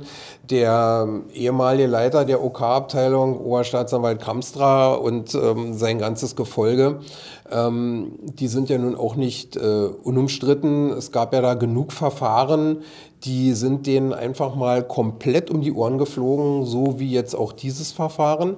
Ähm, es gab Verfahren, die sind noch früher ihnen in die Ohren geflogen. Mhm. Da hat das Kammergericht Berlin sogar komplett äh, verweigert, dass die Anklage durchgeht. Mhm. Ähm, also es ja. gab da unschöne Sachen. Ja. Ähm, und da muss man eben sehen, so wie es hier laufen ist. Wobei ich dir ganz ehrlich sagen muss, die Schilderung von Anis hm. in Bezug auf diesen Tag, was da gelaufen ist, mit ihm Tür zu machen, ja. wo Nasser anwesend war, mhm. wo er ähm, meine persönliche Meinung, die Darstellung glaube ich ihm sogar. Ja, aber das ist nie das Problem gewesen. Ich sogar, sogar ich habe die Darstellung geglaubt, weil die ja so sehr realistisch klingt. Wenn man so ein bisschen sich auskennt, genau. wenn er die Personen kennt, man glaubt das. Aber genau. dann kam ja, dann kam diese Audioaufnahme und dann, ja. hast, du, dann hast du Zweifel gehabt. Und, und dann war waren, ganz anders. Genau, und da hat die Kamera. Also ich glaube schon, dass es bestimmt solche Tage gegeben hat. Ich meine, Bushido hat in seinem Buch, in seinem Film und so weiter schon von diesen Tagen berichtet ja. oder erzählt. Der hat jahrelang sich darüber auch, äh, sagen wir mal, darüber auch definiert, dass man sowas macht. Da war er nur aber auf der anderen Seite. Natürlich, er hat profitiert davon, ja, genau. jahrelang. Ja, aber ich gerade sagen. Ey, natürlich. Deswegen, also ich habe ich hab nie gesagt, also meiner, meinst du, meiner Meinung nach, ich, ich werfe Bushido gar nicht vor, selbst wenn er gelogen hätte, das kann er ja machen. Er ist, das ist sein Fall, er will da gewinnen und so, das äh, werfe ich ihm, würde ich ihm nicht vorwerfen. Mhm auch wenn man es jetzt eben moralisch nicht korrekt, aber er hat seine Karten gespielt, in Ordnung. Und Arafat spielt seine Karten. Meine, was ich mich aufgeregt habe, wenn es um mich mhm. persönlich geht, ist, die beiden haben hier was im Zivilbereich, da geht es um Management, da geht es um viel Geld und bla, ja, ja, ja. Was haben wir damit zu tun? Also warum geht die Petra Staat, äh, die Staatsanwaltschaft, die Petra Leister geht dahin und macht drei Jahre, also das ist doch völlig lächerlich. Wir haben uns Experten angehört, Strafrechtsprofessor hier aus Berlin, mhm. der hat gesagt, fünf bis zehn Tage hätte das kosten müssen, nichts mehr. Da hätte man schon längst die Entscheidung haben können, ob schuldig oder nicht. Das, das ist, äh, weißt du, es ging mir nur darum, wie lächerlich, und du hast ja recht, das Signal ist totale Katastrophe. Nur, äh, du hast ein gutes Wort gesagt, Schwellengangster, wie mhm. Schwellenländer. Mhm. Aber ähm, ich weiß nicht, die, die Staatsanwaltschaft, jetzt wollen die in Revision gehen. Nach 62 Zeugen, hinter jedem Busch nachgeguckt, wegen einer halben Flaschenwurf und eine Tür zugemacht. Ich, ich verstehe schon, dass das ähm, eine, eine krasse Situation ist. Aber Wie viele Zeugen wollen die noch? Also was sagst du denn dazu überhaupt, zu, der ganzen, zu den ganzen 2,5 Millionen soll das gekostet haben? Ist das gerechtfertigt für diese es Sache? Ist, äh, es ist gruselig. Also ich kriege wirklich, ich also ich finde es wirklich gruselig, muss ich ganz ehrlich sagen. Ich bin ja nun, was Juristen angeht, wirklich sehr gut vernetzt. Ja. Also sowohl aus dem Bereich der Staatsanwaltschaft als auch mhm. ähm, Rechtsanwälte und so weiter. Ich bin wirklich sehr, sehr gut vernetzt, was Juristen angeht. Und allesamt, die jetzt mal sich gerade den Fall Bushido angeguckt haben, ähm, auch Staatsanwälte haben eigentlich nur die Augen gerollt. Mhm. Da muss ich aber, wie gesagt, sagen, vorher nochmal, was ich schon mhm. begonnen hatte, die UK-Staatsanwaltschaft in Berlin ist nochmal ein ganz besonderer Fall. Es gab hier schon viele, viele Sachen, die sie angefangen haben, wo sie mhm. erstmal drauf geprügelt haben, mhm. was ihnen so um die Ohren geflogen ist. Ähm, ich, nehmen wir jetzt mal dieses Artemis-Verfahren. Ja. Artemis, mal, kannst du zwei Sätze dazu sagen, falls die Leute nicht wissen? Artemis ist das Großbordell in Berlin, mhm. in äh, Berlin-Hallensee, in der Nähe vom Funkturm. Ähm, da wurden die Inhaber angeklagt wegen, soweit ich weiß, Menschenhandel, insbesondere Steuerdelikte mhm. und so weiter und so weiter. Und ähm, von diesem Fall kenne ich auch die Akte. Und ähm, wenn ich da zum Beispiel gesehen habe, da hat sich der Oberstaatsanwalt Kamstra äh, vor die Presse hingesetzt und hat gesagt, oh, die Frauen wurden in diesem Bordell wie Sklaven auf Baumwollfeldern gehalten. Ähm, ja, gibt die Akte nicht her. Also pff, äh, habe ich wirklich nur gestaunt. Auch das ist denen komplett um die Ohren geflogen, mhm. alles der Staatsanwaltschaft Berlin. Das ist schon, das ist schon wirklich peinlich. Das ist krass, aber wo, woher kommt das? Einfach diese Erfolgssucht, dass man Erfolge ich, vorweisen will? Oh, weißt ja, du, bei, bei, bei, dem Thema Bushido, da bin ich ein bisschen mehr im Thema. Und da muss ich sagen, äh, ich, ich habe mir auch angehört, was Anwälte und andere Justen sagen. Wir haben uns ja vor Gericht auch äh, ja. getroffen. Da, da, ich war ja ein paar Mal da. Äh, du warst nur einmal da, ne? Du warst nur am Ende da, ne? Mir ist nur immer aus dem Saal berichtet worden. Ja, genau, ich habe immer ja. ganz viel. Ja, ja, genau. Ich genau. habe auch aus dem Saal äh, Leute, die ich kannte und Journalisten haben mir immer wieder gesagt, ich war ein paar Mal da. Und äh, was mir Leute immer gesagt haben, ist, das ist kein guter Zeuge, das ist ein schwacher Zeuge. Da mhm. hätte man eigentlich so ein Verfahren auf nur die Aussage von Bushido, hätte man gar nicht anfangen müssen. Das ist ein zu schwach, weil er zu involviert ist, zu äh, eng war und die Motivation ist in Frage zu stellen und, und, und viele weitere. In Ordnung. Jetzt frage ich mich, warum geht man aber dann? Also die, die Chance, also wenn man abwägt, die Chance zu gewinnen und die Chance, den Ruf zu verlieren, der Staatsanwaltschaft, ist doch viel zu wichtig. Also, also ich würde doch viel mehr noch gucken, noch ein bisschen mehr Beweise, wenn ich gegen Arafat, wenn Arafat Abu ist ein großer Name in eurer Szene sozusagen, auch ich meine in der Hip-Hop-Szene, für uns ja, aber für euch ja auch wahrscheinlich noch viel länger und viel größer. Aber wenn ich gegen den vor Gericht gehe, dann muss ich das auch gewinnen. Weil das sieht, wie albern sieht das jetzt aus? Nach dreieinhalb Jahren geht er einfach mit Freispruch nach Hause.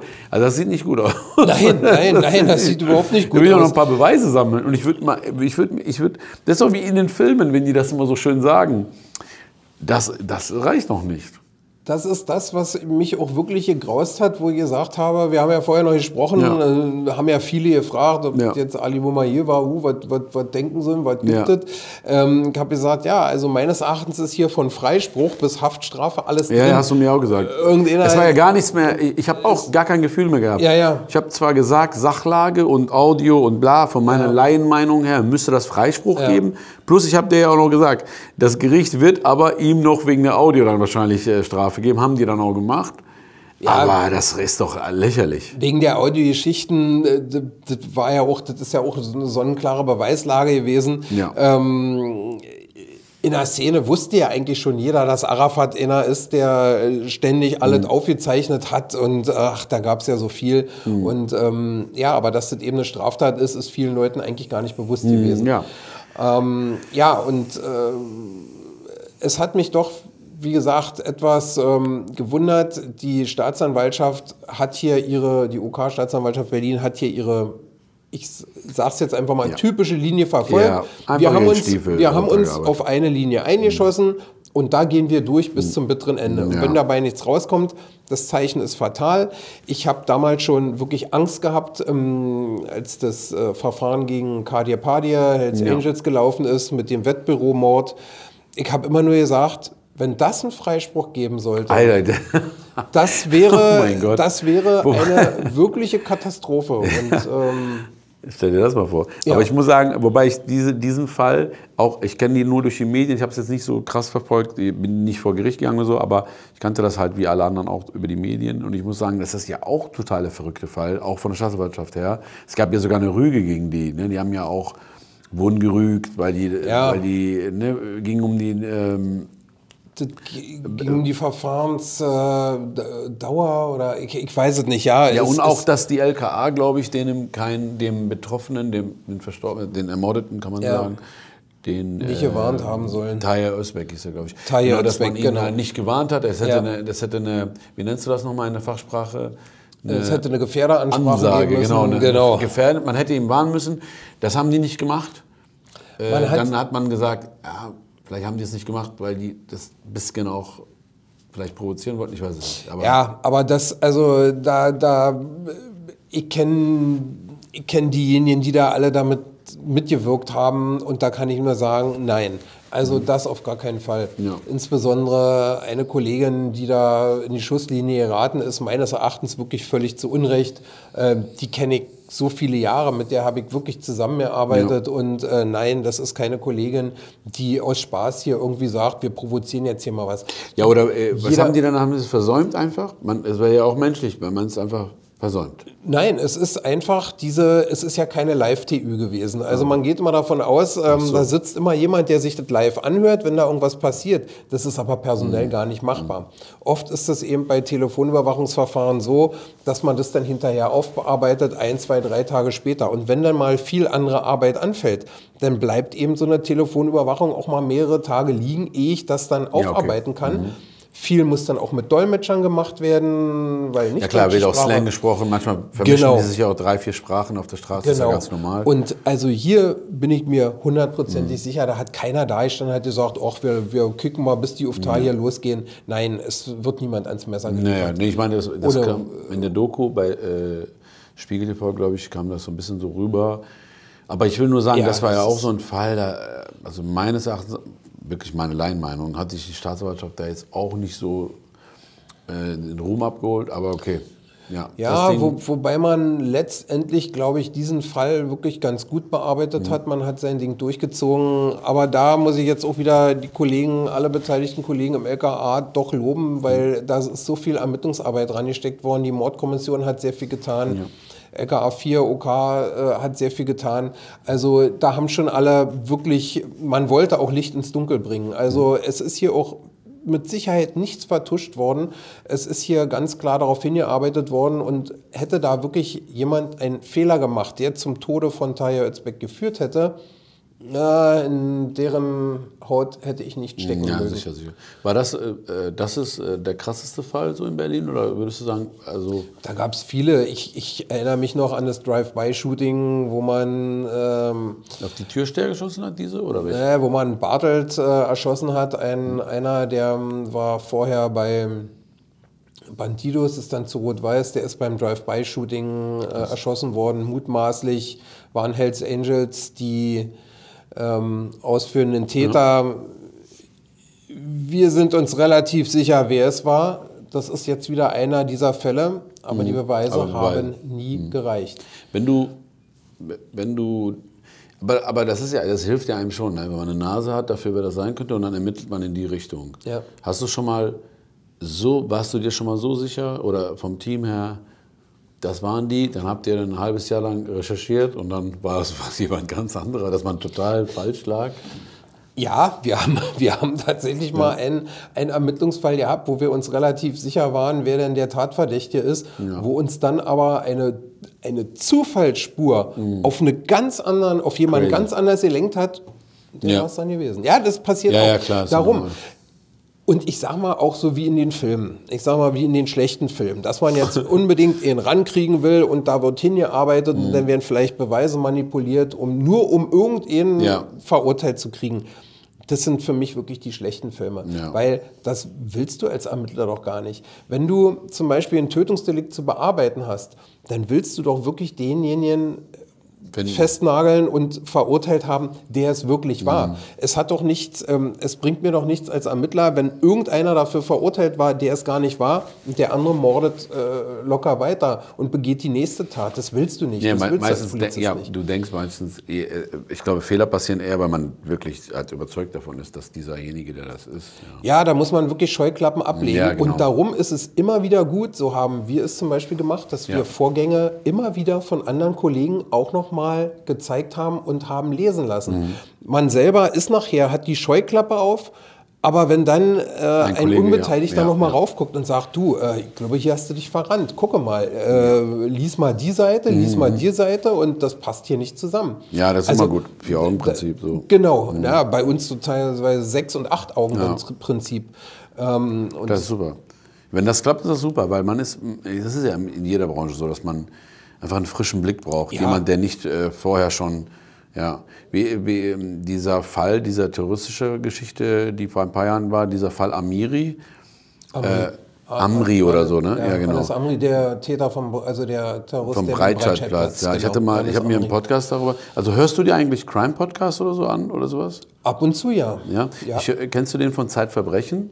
Zeitverbrechen kenne ich natürlich. Ja, ja den, äh, also die, die, ich liebe diese Sabine, die das mal erzählt, die ist so trocken. Die hat diesen Fall mal aufgeschlüsselt und das war ja richtiges Versagen, sage ich mal, zwischen der Kommunikation der Behörden. Ja. Und das ist, dann habe ich mir gedacht, Alter, wir sind in 2020, 2022, mhm. im Zeitalter von Internet und alles. Das hört sich so an wie Fax mal und äh, Taube ist nicht gekommen. Was ist das denn? Also, dass das, das noch passieren kann. Ja, naja, in Deutschland, was die Digitalisierung in Deutschland angeht, ähm, das ist ja ähm, unglaublich. Das, das, Thema wirst du ja bestimmt auch verfolgt ja, und Auch, äh, wir, wir sind ja jahrelang zurück. Ne? Ja, dass man diese, also, ne, damit, falls die Leute das jetzt nicht genau wissen, äh, dieser äh, Typ war eine Zeit lang schon überwacht worden in NRW ja. und zwar ganz gut schon. Also die hatten ihn ganz gut im Blick. Dann ist er nach Berlin gegangen. Und dann haben die Kollegen da, weil die dann nicht mehr mitgehen können, ne, wahrscheinlich. Genau, äh, das wird dann übergeben. Genau, und dann übergeben die das dem Team Berlin und die haben dann das nicht weiterverfolgt. Mm, Oder die Dringlichkeit vielleicht nicht gesehen, keine Ahnung. Doch, man hat es am Anfang auch weiter verfolgt, aber irgendwann ist man zu der Erkenntnis gekommen, es scheint hier nicht diese konkrete Gefahr zu bestehen, mhm. wie es aus NRW eingeschätzt ja, wurde. Ähm, man muss dazu sagen, die Strafverfolgungsbehörden, egal wo in Deutschland und insbesondere auch die Staatsanwaltschaft Berlin, die Polizei Berlin, ist personell sowas von unterbesetzt. Ich weiß, das hört man immer ja. wieder. Ja, aber es ist, glaube ich, schon so. Und wir haben ich glaube, an die 600 Gefährder in Deutschland rumzulaufen, nur aus dem islamistischen Bereich, wo wir sagen, die könnten jederzeit, die sind gewaltbereit und die könnten jederzeit einen Anschlag begehen. Du hast in ganz Deutschland gar nicht so viel Polizei und Observationseinheiten, äh, um diese Leute 24 Stunden unter Wind zu halten und Telefon zu überwachen. Du musst die, die Kollegen, das ist eine ganz schwierige Aufgabe von den Kollegen. Die müssen wirklich einschätzen, wer ist jetzt im Moment gerade mhm. so gefährlich, wo hier unmittelbar ein Anschlag vielleicht bevorstehen könnte. Keiner will dass irgendwo einer sich äh, ja, in ja, die Luft klar. springt nee, nee, oder irgendwas macht. Nee, das werfe ich dir noch nicht vor, aber ich, ich denke, das, das ist ein riesen Kommunikationsfehler. Und, äh da da hat es einfach auch wieder gekriselt. Ja, ich weiß noch, ich kann mich noch sehr gut erinnern, ähm, dass aus NRW der Vorwurf Richtung Berlin kam. Ja. ja, und der Leiter dieser Einheit, der war immer schlecht erreichbar, den hat man nie gekriegt. Nun muss ich dazu sagen, dass der Leiter damals dieser Einheit mein alter Chef war und äh, ich den wirklich kenne und ähm, das einer der ganz tollen Chefs war, die wirklich immer erreichbar waren. Der war 24 Stunden erreichbar, da war die Handynummer da und wenn du den gebraucht hast, ja. dann ähm, hast du ihn erreicht. Ja. Also das war so eine Sache, wo ich sage, also nee, das ja, vielleicht, ja, da wurde glaube ich auch mal ein bisschen hin und her geschoben, der ja, schwarze Peter so, aber ja, es ist total verrückt, Mann. Ich denke mir so, wenn ich so ein LKA-Typ bin oder so der Chef sogar, 24 Stunden erreichbar bin, weil irgendwelche Gefährder oder sogenannte Schläfer oder so, mhm. egal jetzt aus welcher Branche, aus welcher Szene die sind, die sind ja 24 Stunden ready für irgendwas und ja. auch vielleicht auch nicht. Und du kannst ja gar nicht mithalten, weil du hast ja noch ein Leben. Du hast ja noch eine Frau oder ja. Kinder, du musst ja noch zu Elternsprechtag oder sowas. Und du musst ja dann telefonieren. Also, ey, das ist kein Leben. Das war, weil ich, ich, ich, hatte ja dieses Diensthandy ja, oh 24 Gott. Stunden an. Das war sowohl für die Kollegen, dass wenn sie irgendwo auf der Straße äh, irgendwelche Vorfälle mit Rockern, Türstehern, ja. sonst was hatten, konnten die mich anrufen, um Rat fragen, ja. wenn sie Rat benötigt haben. Aber das war ja genauso gut für Hinweisgeber. Das heißt also, und wir, ah, haben, wir haben so viele Anrufe gekriegt wo es dann hieß, pass auf, hier steht eine Riesenschlägerei an, das kann hier Tote geben, es werden Messer mitgeführt mhm. und kommt bitte schnell. Wir konnten präventiv so viel machen, wir haben so viel Sachen verhindert mhm. durch tolle Hinweise, ja. wo eben Leute auch, auch aus gewissen Familien angerufen haben, die einfach nicht wollten, dass es da jetzt, weiß ich, tote Verletzte, die selber auch aber mal Angst um sich hatten, gesagt haben, warum soll ich jetzt hier in diese Riesenauseinandersetzung mhm. gehen? Menschlich alle durchaus verständlich. Und wir haben wirklich mit dieser BAO Rocker- und Türsteher-Szene damals, wir haben wirklich sehr, sehr erfolgreich gearbeitet. Natürlich konnten wir nicht jedes Verbrechen verhindern, ist klar. Aber wir haben doch ähm, ziemlich schnell oft Ermittlungsergebnisse gehabt und wir konnten mhm. präventiv echt eine Menge tun, gerade so im Bereich Neukölln. Da waren wir schon echt gut am Ball und das ist leider alles ähm, zerfallen. Gibt es heute nicht mehr. Wieso nicht? Ähm, als ich dann raus war, gab es keinen mehr, der das übernommen hat. Ähm, Wie, die, die haben die, die, die BAO, ja, die BAO Rocker Türsteher-Szene, die wurde aufgelöst, die wurde dann in OK. überführt in die BAO Nachtleben. So, ja. Aber man hat einfach gar nicht mehr diese ganzen Kräfte zur Verfügung gestellt. Das Problem war einfach nicht mehr da. Man hat es aus den Augen verloren und äh, ja, seitdem haben wir wieder den Wildwuchs. Es ist das, das, ist in, so, nicht, das, ist in, das ist in so vielen Bereichen. Es, es, gab zum Beispiel in jeder Polizeidirektion ein sogenanntes Drogenkompetenzteam, die mhm. sich hauptsächlich um ähm, Bekämpfung äh, von Drogen im Straßenverkehr gekümmert haben. Ja, die waren so erfolgreich, die sind in Ruhleben äh, vom Hof gefahren und Charlottenburger Chaussee, äh, spätestens hatten sie den ersten, der, äh, weiß ich nicht, auf Koks oder völlig zugekifft, gerade frisch oder noch den Joint im Auto äh, denn gefahren ist. Die hat man aufgelöst. Die haben so viele Vorgänge aber gebracht, die hat man aufgelöst. Das ist verrückt. Warum aber? Eigentlich würde ich ja sagen, man muss es aufstocken. Ja. Weil dieses, was du gesagt hast, das ist, äh, das, das, äh, das würde ich sagen, ist eines der besten Sachen, dieses Präventive schon. Dieses genau. schon mal hingehen, schon genau. ganz früh. Nicht erst hingehen, wenn einer schon abgestochen wurde und du weißt, eine Familie will jetzt noch Rache üben. Ja. Du weißt genau, in Berlin wird demnächst was ganz Schönes. Das schon vorher hingehen, präventiv, das ist das Beste. Und das ist das, was meine Chef, Chefs damals wirklich auch gesehen haben. Wie gesagt, von Kommissariatsleiter bis Abteilungsleiter, mhm. dass die einfach gesehen haben, dass ich in diesem Bereich wirklich diese gute Arbeit mache und diese Resonanz auch ja, zurückkommt. Ja. Ähm, für die UN, wo ich gearbeitet habe, das ist eine der, der ähm, Grundsätze bei, den, bei diesen UN-Missionen. Das heißt, wir kommen in ein fremdes Land, wo wir jetzt hier sind, Vertrauen schaffen und halten. Und genau so haben wir es im Bereich der Kriminalitätsbekämpfung gemacht. Vertrauen schaffen. Wir haben uns vorgestellt, so, zack, hier ist meine Karte, Klaus Nachtigall, hier ist meine Handynummer, wenn was ist. Mhm. Ähm, gut.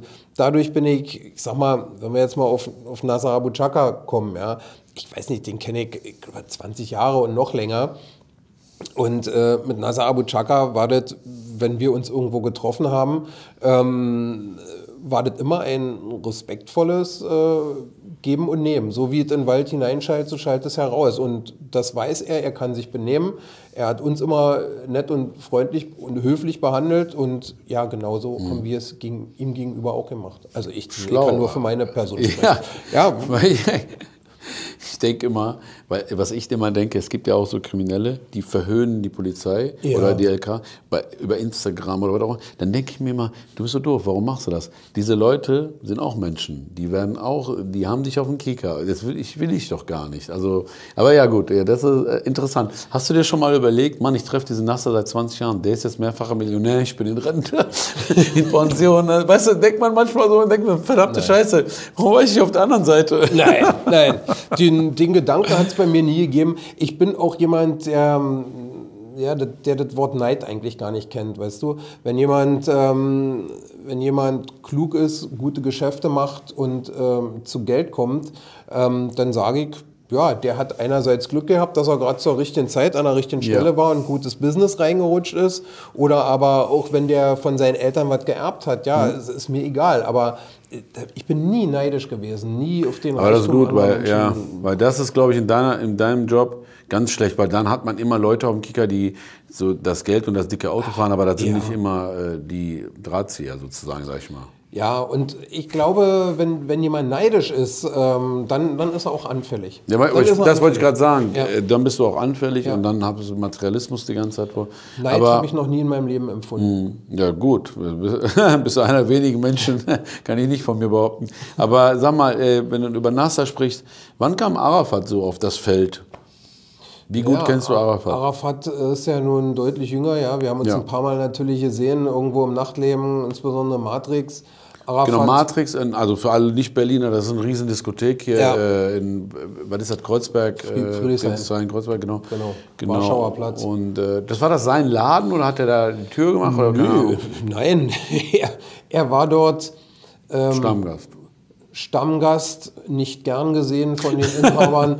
ähm, ja, weil wir hatten ja die Informationen, die kommen da hin. Wie gesagt, das sind alles so, ähm, was man so spricht und man ist dann da hingekommen, man hat da ein riesen Theater gemacht ja. und ähm, äh, ins Matrix. Äh, wir haben ja auch mal, wir haben ja auch Kontakt zu irgendwelchen Jugendlichen und Heranwachsenden auch immer wieder mal gehabt und die haben mir gesagt, Matrix kannst ja gar nicht mehr hingehen, weil da sind nur noch diese Leute und ja. ähm, so, so ein Umfeld, vor allen Dingen, muss ich mal wieder sagen, einfach mal von der Erfahrung her, das kann man ja auch hören, das kann man ja auch nachlesen.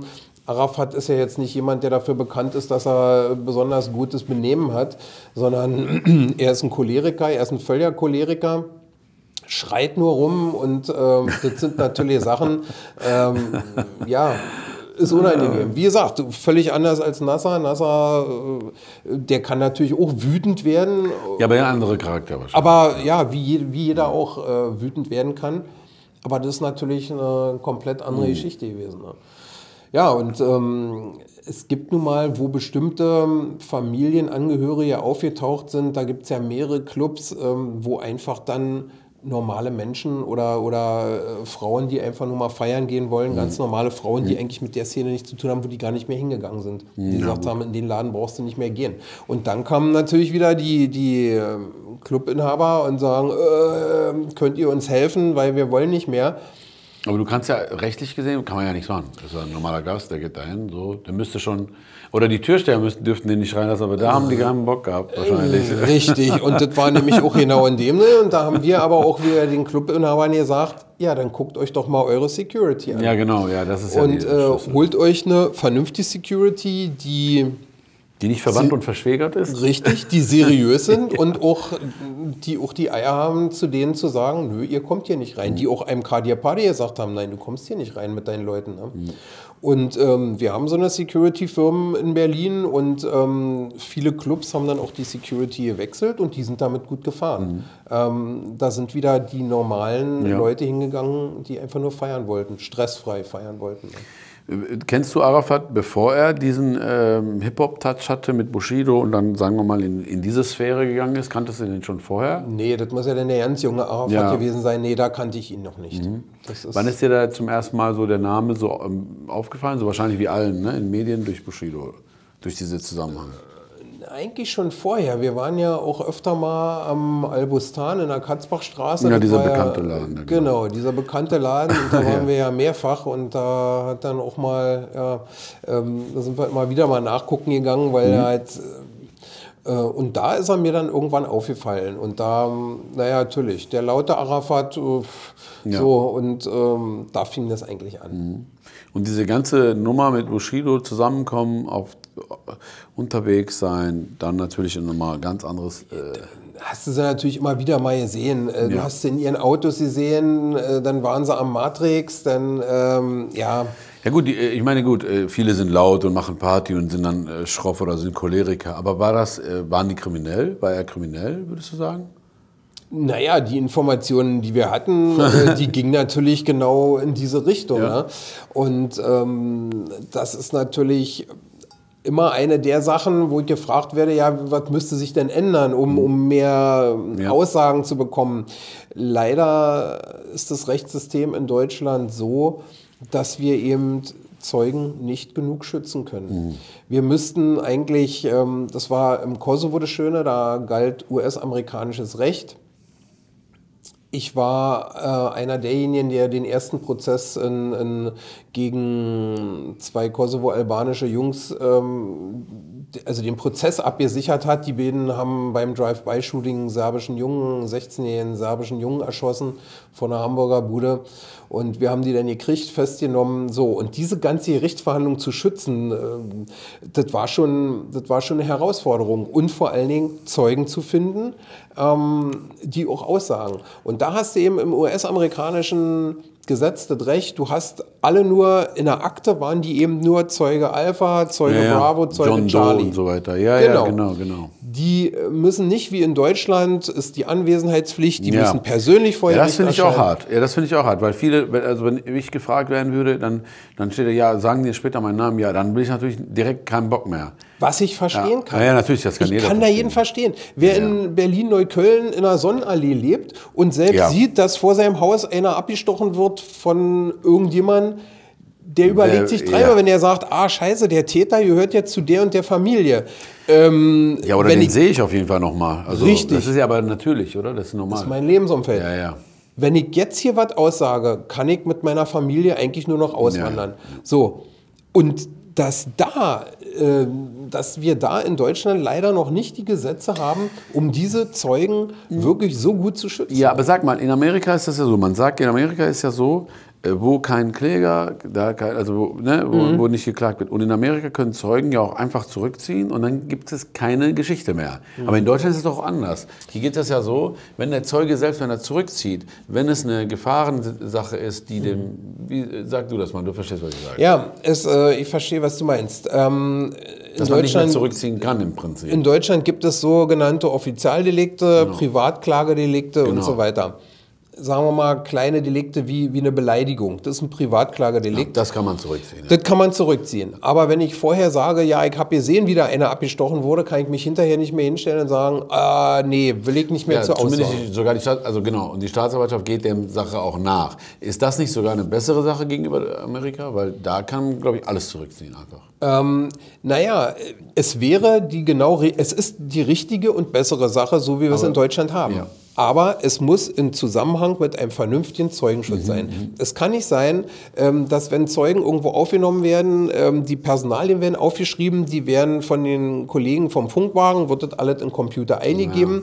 Ja. Ähm, das ist Rutscht teilweise noch sogar mal raus. Ne? Haben wir richtig. bei so, bei so, bei, ja, es gibt ja immer wieder, das sind natürlich nur schwarze Schafe, aber immer wieder geben Polizisten oder LKA und so ja sogar Daten weiter und das ist, das, ja. das ist ein großes Problem. Wenn die das alle nicht wüssten, wäre es besser. Ja, ne? es gibt schon mittlerweile Abfragestufen. Also ja. ich sag mal, ein normaler äh, eine Kollegin oder ein Kollege, die Funkwagen fahren, die können jetzt nicht in irgendwelche Staatsschutzakten reingucken, ja. äh, auch im Computer nicht. Ja. Da, da, sehen die nichts. Ne?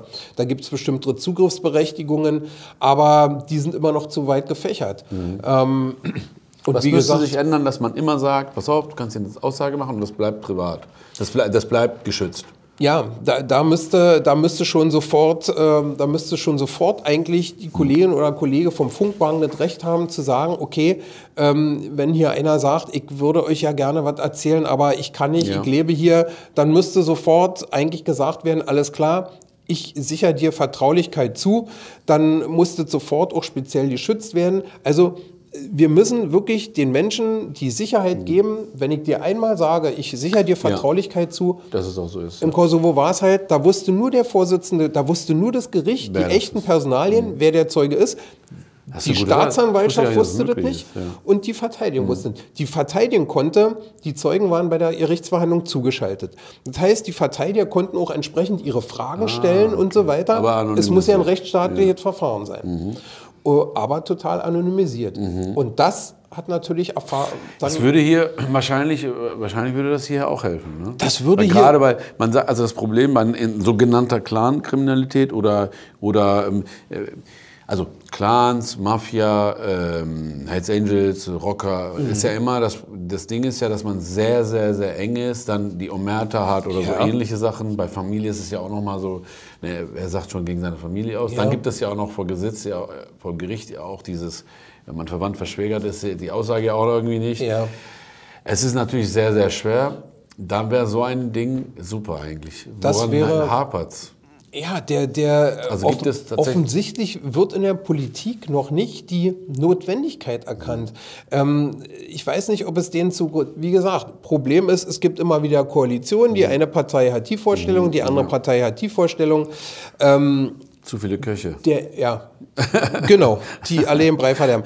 Ähm, die, die, die Notwendigkeit scheint offensichtlich ja. noch nicht erkannt worden zu sein. Aber das ist, meines Erachtens, ist das, das probateste, das beste Mittel, um wirklich ähm, Kriminalität im Allgemeinen, aber insbesondere organisierte Kriminalität zu bekämpfen. Hm. Ein, ein durchgehender, exzellenter Zeugenschutz. Hm, ja, also auf jeden Fall. Und dieses mit dem Geld, diese Umkehrlast, glaube ich, hat euch aber auch schon äh, viel geholfen, oder? Also aus ja, den Medien die, weiß ich, dass. Äh, die ist noch nicht so 100 Prozent wie in Italien, ja. aber die hilft uns schon sehr weiter. Ja, Wie gesagt, im Geldwäscheverfahren. Ich muss wirklich die Möglichkeit haben, und da müssen wir nicht über Obergrenzen nachdenken, theoretisch ähm, muss ich die Möglichkeit als Ermittlungsbehörde haben, zu sagen, wie bitte, ähm, der zahlt hier, weiß ich, äh, jeden Monat 2000 Euro oder 1000 Euro noch nebenbei auf sein Konto ein wo kommt das Geld mhm. her? Ich will es einfach mal gucken. Ist aktuell eine Obergrenze? Na, man spricht jetzt, äh, nee, nee, man diskutiert jetzt die Obergrenze von, mhm. von 10.000. Also es gibt schon eine so, Obergrenze, ja. die liegt wohl bei 10.000 Euro. Mhm. Also wenn du jetzt so um die 10.000 Euro bei dir mal in Cash aufs Konto einzahlst, dann ist eigentlich die Bank schon verpflichtet, eine Geldwäsche-Verdachtsanzeige zu stellen. Ja gut, das weiß ich. Aber, äh, genau. aber ich meine, dass man zum Beispiel, wenn jetzt jemand ja, keine Ahnung, ein Haus hat, äh, aber eigentlich Hartz-IV-Empfänger ist. Äh, das es ja. Ne? Wir sind ja auf einige Leute, sind ja. ein paar Objekte gemeldet, das ist eigentlich Hartz IV. Richtig. Dann muss er erklären, wo er das her hat. Dann muss er es jetzt erklären. Das hat ja auch funktioniert. Ne? Ich habe bei Spiegel TV gesehen, es gibt da so eine, äh, eine Geschichte, wo ganz viele Wohnungen oder Häuser wie sagen wir, eingefroren worden sind. Jetzt mhm. muss bewiesen werden, wo das Geld herkommt. Genau. Das wird schwer. Ja, bei der Familie Ramo zum Beispiel, mhm. ähm, genau, da sind die Immobilien beschlagnahmt worden und ja, dann müssen sie mal nachweisen, wo es herkommt. Mhm. Ne? Okay, crazy. Es ist, es ist auch einfach nur richtig, weil ich sage mal, genau diese Verfahrensweise, fast alle Leute, die mhm. hier wohnen und arbeiten, sind korrekt und sind ehrlich und mhm. arbeiten hart, äh, um an ihr Geld zu kommen. Und dann kommen solche Leute, die denken, für mich gilt hier gar nichts, ich kann machen, was ich will. Es ist einfach ein Schlag ins Gesicht für die ganzen ehrlichen Menschen. Mhm. Und ähm, darum. Ja, es ist, ja, ja. Äh, sag mal, wenn du, wenn du so einen Fall hörst, wie zum Beispiel grüne Gewölbe mhm. oder weiß ich nicht, die Münze und so, wie trifft dich das, wenn du das hörst? Hast du schon direkt im Gefühl, welche zwei, drei äh, Truppen das nur sein können? Weil ich denke, das ist ja auch irgendwie auch, also das wird ja nicht irgendein No-Name sein, weißt du? Sofort nach dem grünen Gewölbe, ähm, das Witzige ist, ein paar Tage vorher waren wir selber noch da, haben uns ja. das angeguckt und ähm, als das grüne Gewölbe war, klingelte auch mein Telefon. Ich glaube, vier, fünf Journalisten riefen an und sagen, ey, wer war's? Sag. Okay, die haben schon das Gefühl, dass du das weißt. Ja. ja, ja. Äh, Und war das auch so oder lagst du falsch? Nein, ich lag richtig. ich lag weil das einfach so, richtig. Weil das einfach äh, von, der, von, der, von der Art her, also der oder ist das ja genau, weil es gibt da wahrscheinlich Truppen, die spezialisieren sich auf Schließfach, äh, ja. keine Ahnung. Der eine macht mehr mit Bombe und mit ja. Sprengen und der andere ist eher so der ja. äh, filigrane. Ja, das war, oder, eigentlich, das war eigentlich von der Begehungsweise her, lag ich schon komplett richtig mit meiner Vermutung, ähm, auch mit der Herangehensweise. Wenn man mal sieht, aber was das auch für eine Vorbereitung bedarf hat. Ja, also das ist ja jetzt, das ist ja jetzt nicht irgendwo, ich gehe mal rein, greife mir jetzt zehn wertvolle Jacken und renne wieder raus, sondern die Vorbereitung, die war ja, ähm, die war ja gigantisch. Ähm, was ich sehr persönlich gerne ähm, im Berliner Polizeigesetz hätte, in den Landesgesetzen, einfach zur Prävention, äh, wäre die, Präventi die präventive Observation. Ja. Dass ich einfach sage, ich habe hier erfahrungsgemäß Person X, Person Y, die permanent Straftaten begeht. Ja. Ich gucke jetzt mal drei Monate, was macht denn der eigentlich? Ja, aber dürft ihr das nicht schon sowieso? Also nur beim richtigen Verdacht dürft ihr das. Richtig. Und das wie lange ist ja auch begrenzt. Immer, das kommt immer darauf an, äh, meistens über einen Monat, auch mhm. die Telefonüberwachungsmaßnahmen, das muss dann immer wieder verlängert werden. Mhm. Äh, wenn man es länger haben will, muss man auch eben begründen, ja, warum klar. man es verlängert haben will. Das finde ich ja auch sehr richtig. Was für uns ganz wichtig ist, wäre die Vorratsdatenspeicherung wieder einzuführen. Da zucken viele Leute zusammen und sagen, ja, oh, Vorratsdatenspeicherung, ich bin jetzt der gläserne Mensch. Ja, es hat natürlich, ich verstehe das aus deiner Sicht. Alles, was Nein, du sagst, aber Vorratsdatenspeicherung, ich will es nur noch mal erklären. Ja, ja. Es, ist wirklich, es ist wirklich Quatsch zu sagen, dass irgendjemand Angst haben muss, der ähm, ein ehrlicher Mensch ist. Die Polizei hat ja nicht das Recht, äh, einen Telefonanbieter anzurufen und sagen, oh, schicken mir mal die Daten von der und der Nummer jetzt rüber. So ist es ja nicht. Das ja, muss ja alles ich verstehe das. richterlich. Du, du kannst dann irgendwann anrufen und sagen, hier der und der, bla bla. Das Problem oder die Kritik an dieser Geschichte ist halt, äh, Macht korrumpiert immer. Und irgendwann, äh, ne, wir haben in Deutschland das ja schon mal gehabt, dass das auch peu à peu ging. Und das Problem ist, ich verstehe das aus deiner Sicht, das würde deine Arbeit ja unheimlich vereinfachen. Du müsstest nur noch äh, jetzt grüne Gewölbe, du hast zwei Leute im Verdacht, äh, Richter, äh, keine Ahnung, bei Telekom anrufen oder Vodafone und dann, ja, 14. Äh, ist alles schön da. Problem ist aber, das verleitet natürlich auch dann wieder weiter, weitestgehend dann zum gläsernen Menschen. Und dieser, dieses Argument, du, wenn du kein Verbrechen begangen hast, brauchst du dir keine Sorgen machen, das ist ein bisschen äh, das ist ein schwaches Argument, weil du als Mensch ja, also wie ich, ähm, also eine, eine, totale Überwachung ist immer, also es ist ja immer so, dass die Politik oder, oder der Staat, sagen wir der Staat, vielleicht besser gesagt, und der Bürger, die ziehen ja immer an diesen Mehr Sicherheit bedeutet weniger Freiheit, mehr Freiheit bedeutet weniger Sicherheit. Und um da muss man die Waage halten. Und eine, eine totale Überwachungsmöglichkeit, wenn, ne, Gelegenheit macht Diebe, Gelegenheit macht Diebe. Wenn die Möglichkeit da ist, dann wird es dann irgendwann, also das weicht die Grenzen auf und irgendwann wird es immer mehr zum Staat, der dich überwacht. Also wir haben das ja auf der Welt, das gibt es ja. Also das ist ja gut so, dass es in Deutschland nicht so ist. Wobei ich es natürlich auch verstehe. Wollte ich gerade sagen. das natürlich auch. Äh, totale Überwachung wäre es nicht. Das würde ich zum Beispiel für China so sehen oder für Nordkorea, wo man, wo man mit ähm, Gesichtserkennungsprogramm, ja, genau. wo quasi die chinesische Polizei da sitzt, aber da sitzt halt irgendein Polizist und sagt, ich will mal wissen, was der und der macht. Genau. Und dann gehen die mit ja. Gesichtserkennung. Das ja, weil, die das können, weil die das haben. Genau. Noch haben wir es nicht. Das halte ich für ist, problematisch. Ja, das halte ich auch für problematisch. Ja. Aber das wäre halt ein erster Step, wenn man eine Vorratsdatenspeicherung macht. Das ist ja der erste Step. Auch wenn es, auch wenn, ich gebe es zu, das dauert noch und das wird bang. Aber keiner hat auch geglaubt, was uns schon hier passiert ist in Deutschland alles. Also das, ne, also Aber wenn Step by Step. Wenn es Richter, dafür bin ich halt eben, dass das wirklich das nur das auf richterliche Ordnung machen. Ja. Nicht, nicht die Polizei soll die Macht haben zu nein, sagen, ich verstehe, was du sagst. Nein, das muss ein, ich muss darlegen, warum ich das haben will. Dann muss ein Richter das mhm. überprüfen und dann entweder ja oder nein sagen es werden ja auch Anträge auf, Durchsuchungsbeschlüsse äh, werden ja auch abgelehnt. Ja. Da guckt ein Richter rauf, ein Ermittlungsrichter und sagt, nee, also tut mir leid. Die Begründung, warum Sie hier einen Durchsuchungsbeschluss für die Wohnung oder die Geschäftsräume ja. haben wollen, die ist für mich zu dünn. Nein, äh, bringen Sie mehr. Beweise mhm. und das war's. Oder Telefonüberwachung, die werden abgelehnt. Ja? Also ich denke, wir haben schon ein wirklich gut funktionierendes Rechtssystem. Mhm. Vorratsdatenspeicherung Hinblick auch nochmal auf, auf äh, Pädophile, auf Kinderpornografie. Es gehen uns hier gerade in diesem Bereich so viele ähm, Leute durch die Lappen mhm. wirklich die, die schwerste Straftaten halt begehen. Aber wie würde die Vorratsdatenspeicherung da zum Beispiel supporten?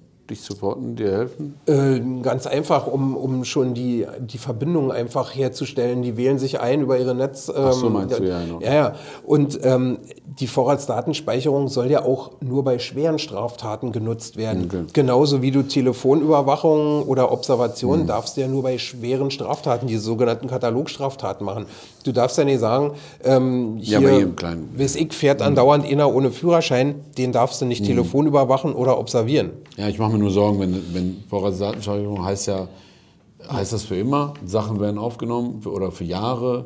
Nein, äh, nein, es muss natürlich zeitlich begrenzt sein. Wenn man sagt, so, ich muss wenigstens, wenn ich sechs Monate rückverfolgen mhm. kann, äh, das reicht ja aus. Mhm. Äh, und wie gesagt, auf richterliche Anordnung und natürlich nur bei schwersten Straftaten, nicht bei. Aber so, te so Telefonmasten und so weiter, das könnt ihr ja schon machen, ne? Immer noch. Ja, ne, so laufen ja Telefonüberwachungen. Genau. Also nein, nein, nein, ich meine also, so, dass man so sagen kann, diese Person, sein Handy hat sich in dieser Geschichte hier ein, einge, äh, äh, wie nennt man das, dass dein eingeloggt, hm? eingeloggt. Das mhm. kann man schon machen, oder? Ja. Das dass man sagt, du warst auf jeden Fall in, in diesem Bereich, oder zumindest dein Handy war auf jeden Fall da. Dein Handy war ja. in diesem Bereich, genau. Das kann man immer noch machen. Das, das ne? kann man genau. Ja, ja. ja. So, so funktioniert Hilft das, das nicht ja. Schon? Hm, das hilft ja nicht, ähm, nicht wirklich alleine, weil das ist ja auch nicht, das ist ja auch nach, nach kurzer Zeit wieder gelöscht. Ach so, wie lange ist das so drin? Äh, weil wenn ich jetzt höre... 14 Tage, ich, 14 Tage? Bin, ich bin mir jetzt nicht sicher. Also das ist wirklich eine sehr, sehr kurze Zeit. Ja gut, aber 14 Tage würde ja reichen, wenn ich höre, Münze, okay, schnell, ja, das ist, glaube ich, sogar noch kürzer. Was ist denn das? Ist das nicht sogar innerhalb von drei Tagen? Also ich ja, will das, das ist ja, jetzt ganz, ganz krass kurz. Drei Tage hilft nicht, ja. Nee, nee, das knapp. ist wirklich jetzt ganz krass kurz. Und wie ja, gesagt, darum, also man braucht es halt länger. Ich sag mal, das ist genauso bei, ähm, bei der Aufzeichnung von Berliner Verkehrsbetrieben. Mhm. Ähm, die Kameras, ich glaube, da wird auch nach drei Tagen gelöscht. Ähm, aber nicht jede Straftat wird ja innerhalb von drei Tagen bekannt. Es gibt zum Beispiel klar. Opfer von Sexualdelikten, ja. die sind erst nach einer Woche überhaupt fähig, das anzuzeigen, weil die so schockiert sind. Ja, oder Jahre später. Oder Jahre nee, später. Nee, das ist klar. Na gut, wir brauchen auch nee, nicht jahrelang jetzt Nein, nein, aber ich sage nur, gerade bei Sexualdelikten, Vergewaltigungen, Frauen gehen ja manchmal zehn Jahre später, trauen sich ja, erst, das ist klar das müsste zumindest, sagen wir mal, wirklich gerade von öffentlichem Nahverkehr, da sollte man sagen, so 14 Tage, mhm. nach 14 Tagen sollte gelöscht werden, wenn innerhalb von 14 Tagen ja. nicht angezeigt wurde. Das würde schon viel weiterhelfen. Ne? Aber ähm, ja, ich denke, in puncto Sicherheit kann man immer irgendwo noch mehr machen, irgendetwas besser machen. Aber ich muss ganz ehrlich sagen, Sicherheit bedeutet halt auch Freiheit. Und ich bin hier am Kudamm groß geworden. Und wenn ich heute den Breitscheidplatz sehe, da könnte ich heulen. Das ist nicht der Breitscheidplatz, den ich als Jugendlicher erlebt habe. Ich bin hier auf dem Kudamm. Weil er jetzt so, weil er, weil er so. Weil er überall äh, Fahrzeugsperren ja. und so weiter. Äh, da fühle ich mich in meiner Freiheit schon eingeschränkt. Mhm. Ist nicht schön, kein gutes Gefühl.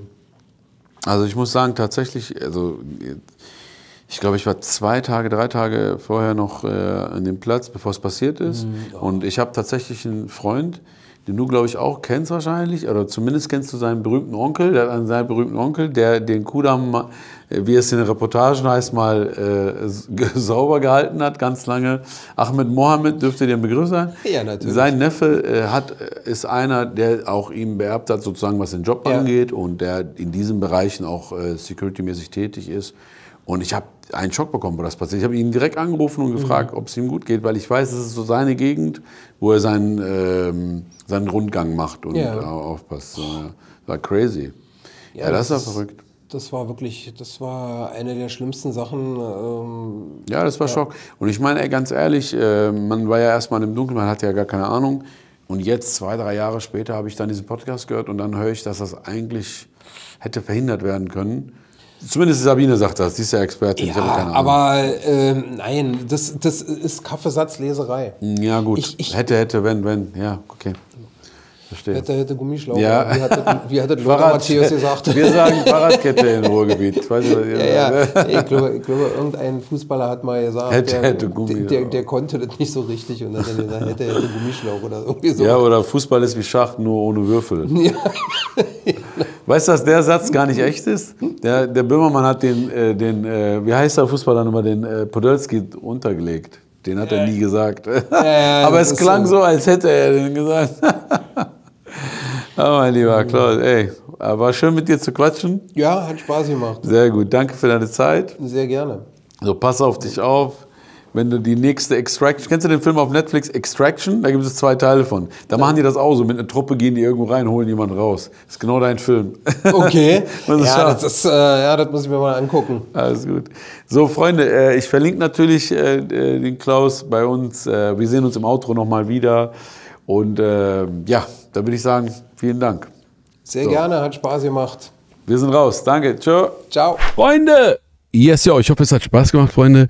Ich muss sagen, ich fand es sehr interessant. Der Talk war nice und ich habe mir gedacht, Alter, eigentlich, eigentlich haben wir nur an der Oberfläche gekratzt. Eigentlich muss noch ein zweiter Teil her. Noch einmal Klaus zu Besuch. Was sagt ihr, Freunde? Schreibt es mir in die Kommentare. Was habe ich vergessen zu fragen? Was hättet ihr gerne noch gefragt? Was hättet ihr gerne gewusst? Soll der Klaus noch einmal zu uns? Auf jeden Fall. Ähm, ja, und sonst schreibt mir in die Kommentare, wer sonst noch zu uns soll, Freunde. Und wen sollen wir, wen sollen wir zu uns in die Sendung holen? Zu was los, Freunde? Gangzeichen, damit auch alle wissen, das hier ist eine Hip-Hop-Sendung. Wir sehen uns in einer der nächsten Was los Folgen wieder oder auf Twitch, Freunde. Bis bald. Vielleicht auch auf TikTok oder sowas. Ciao.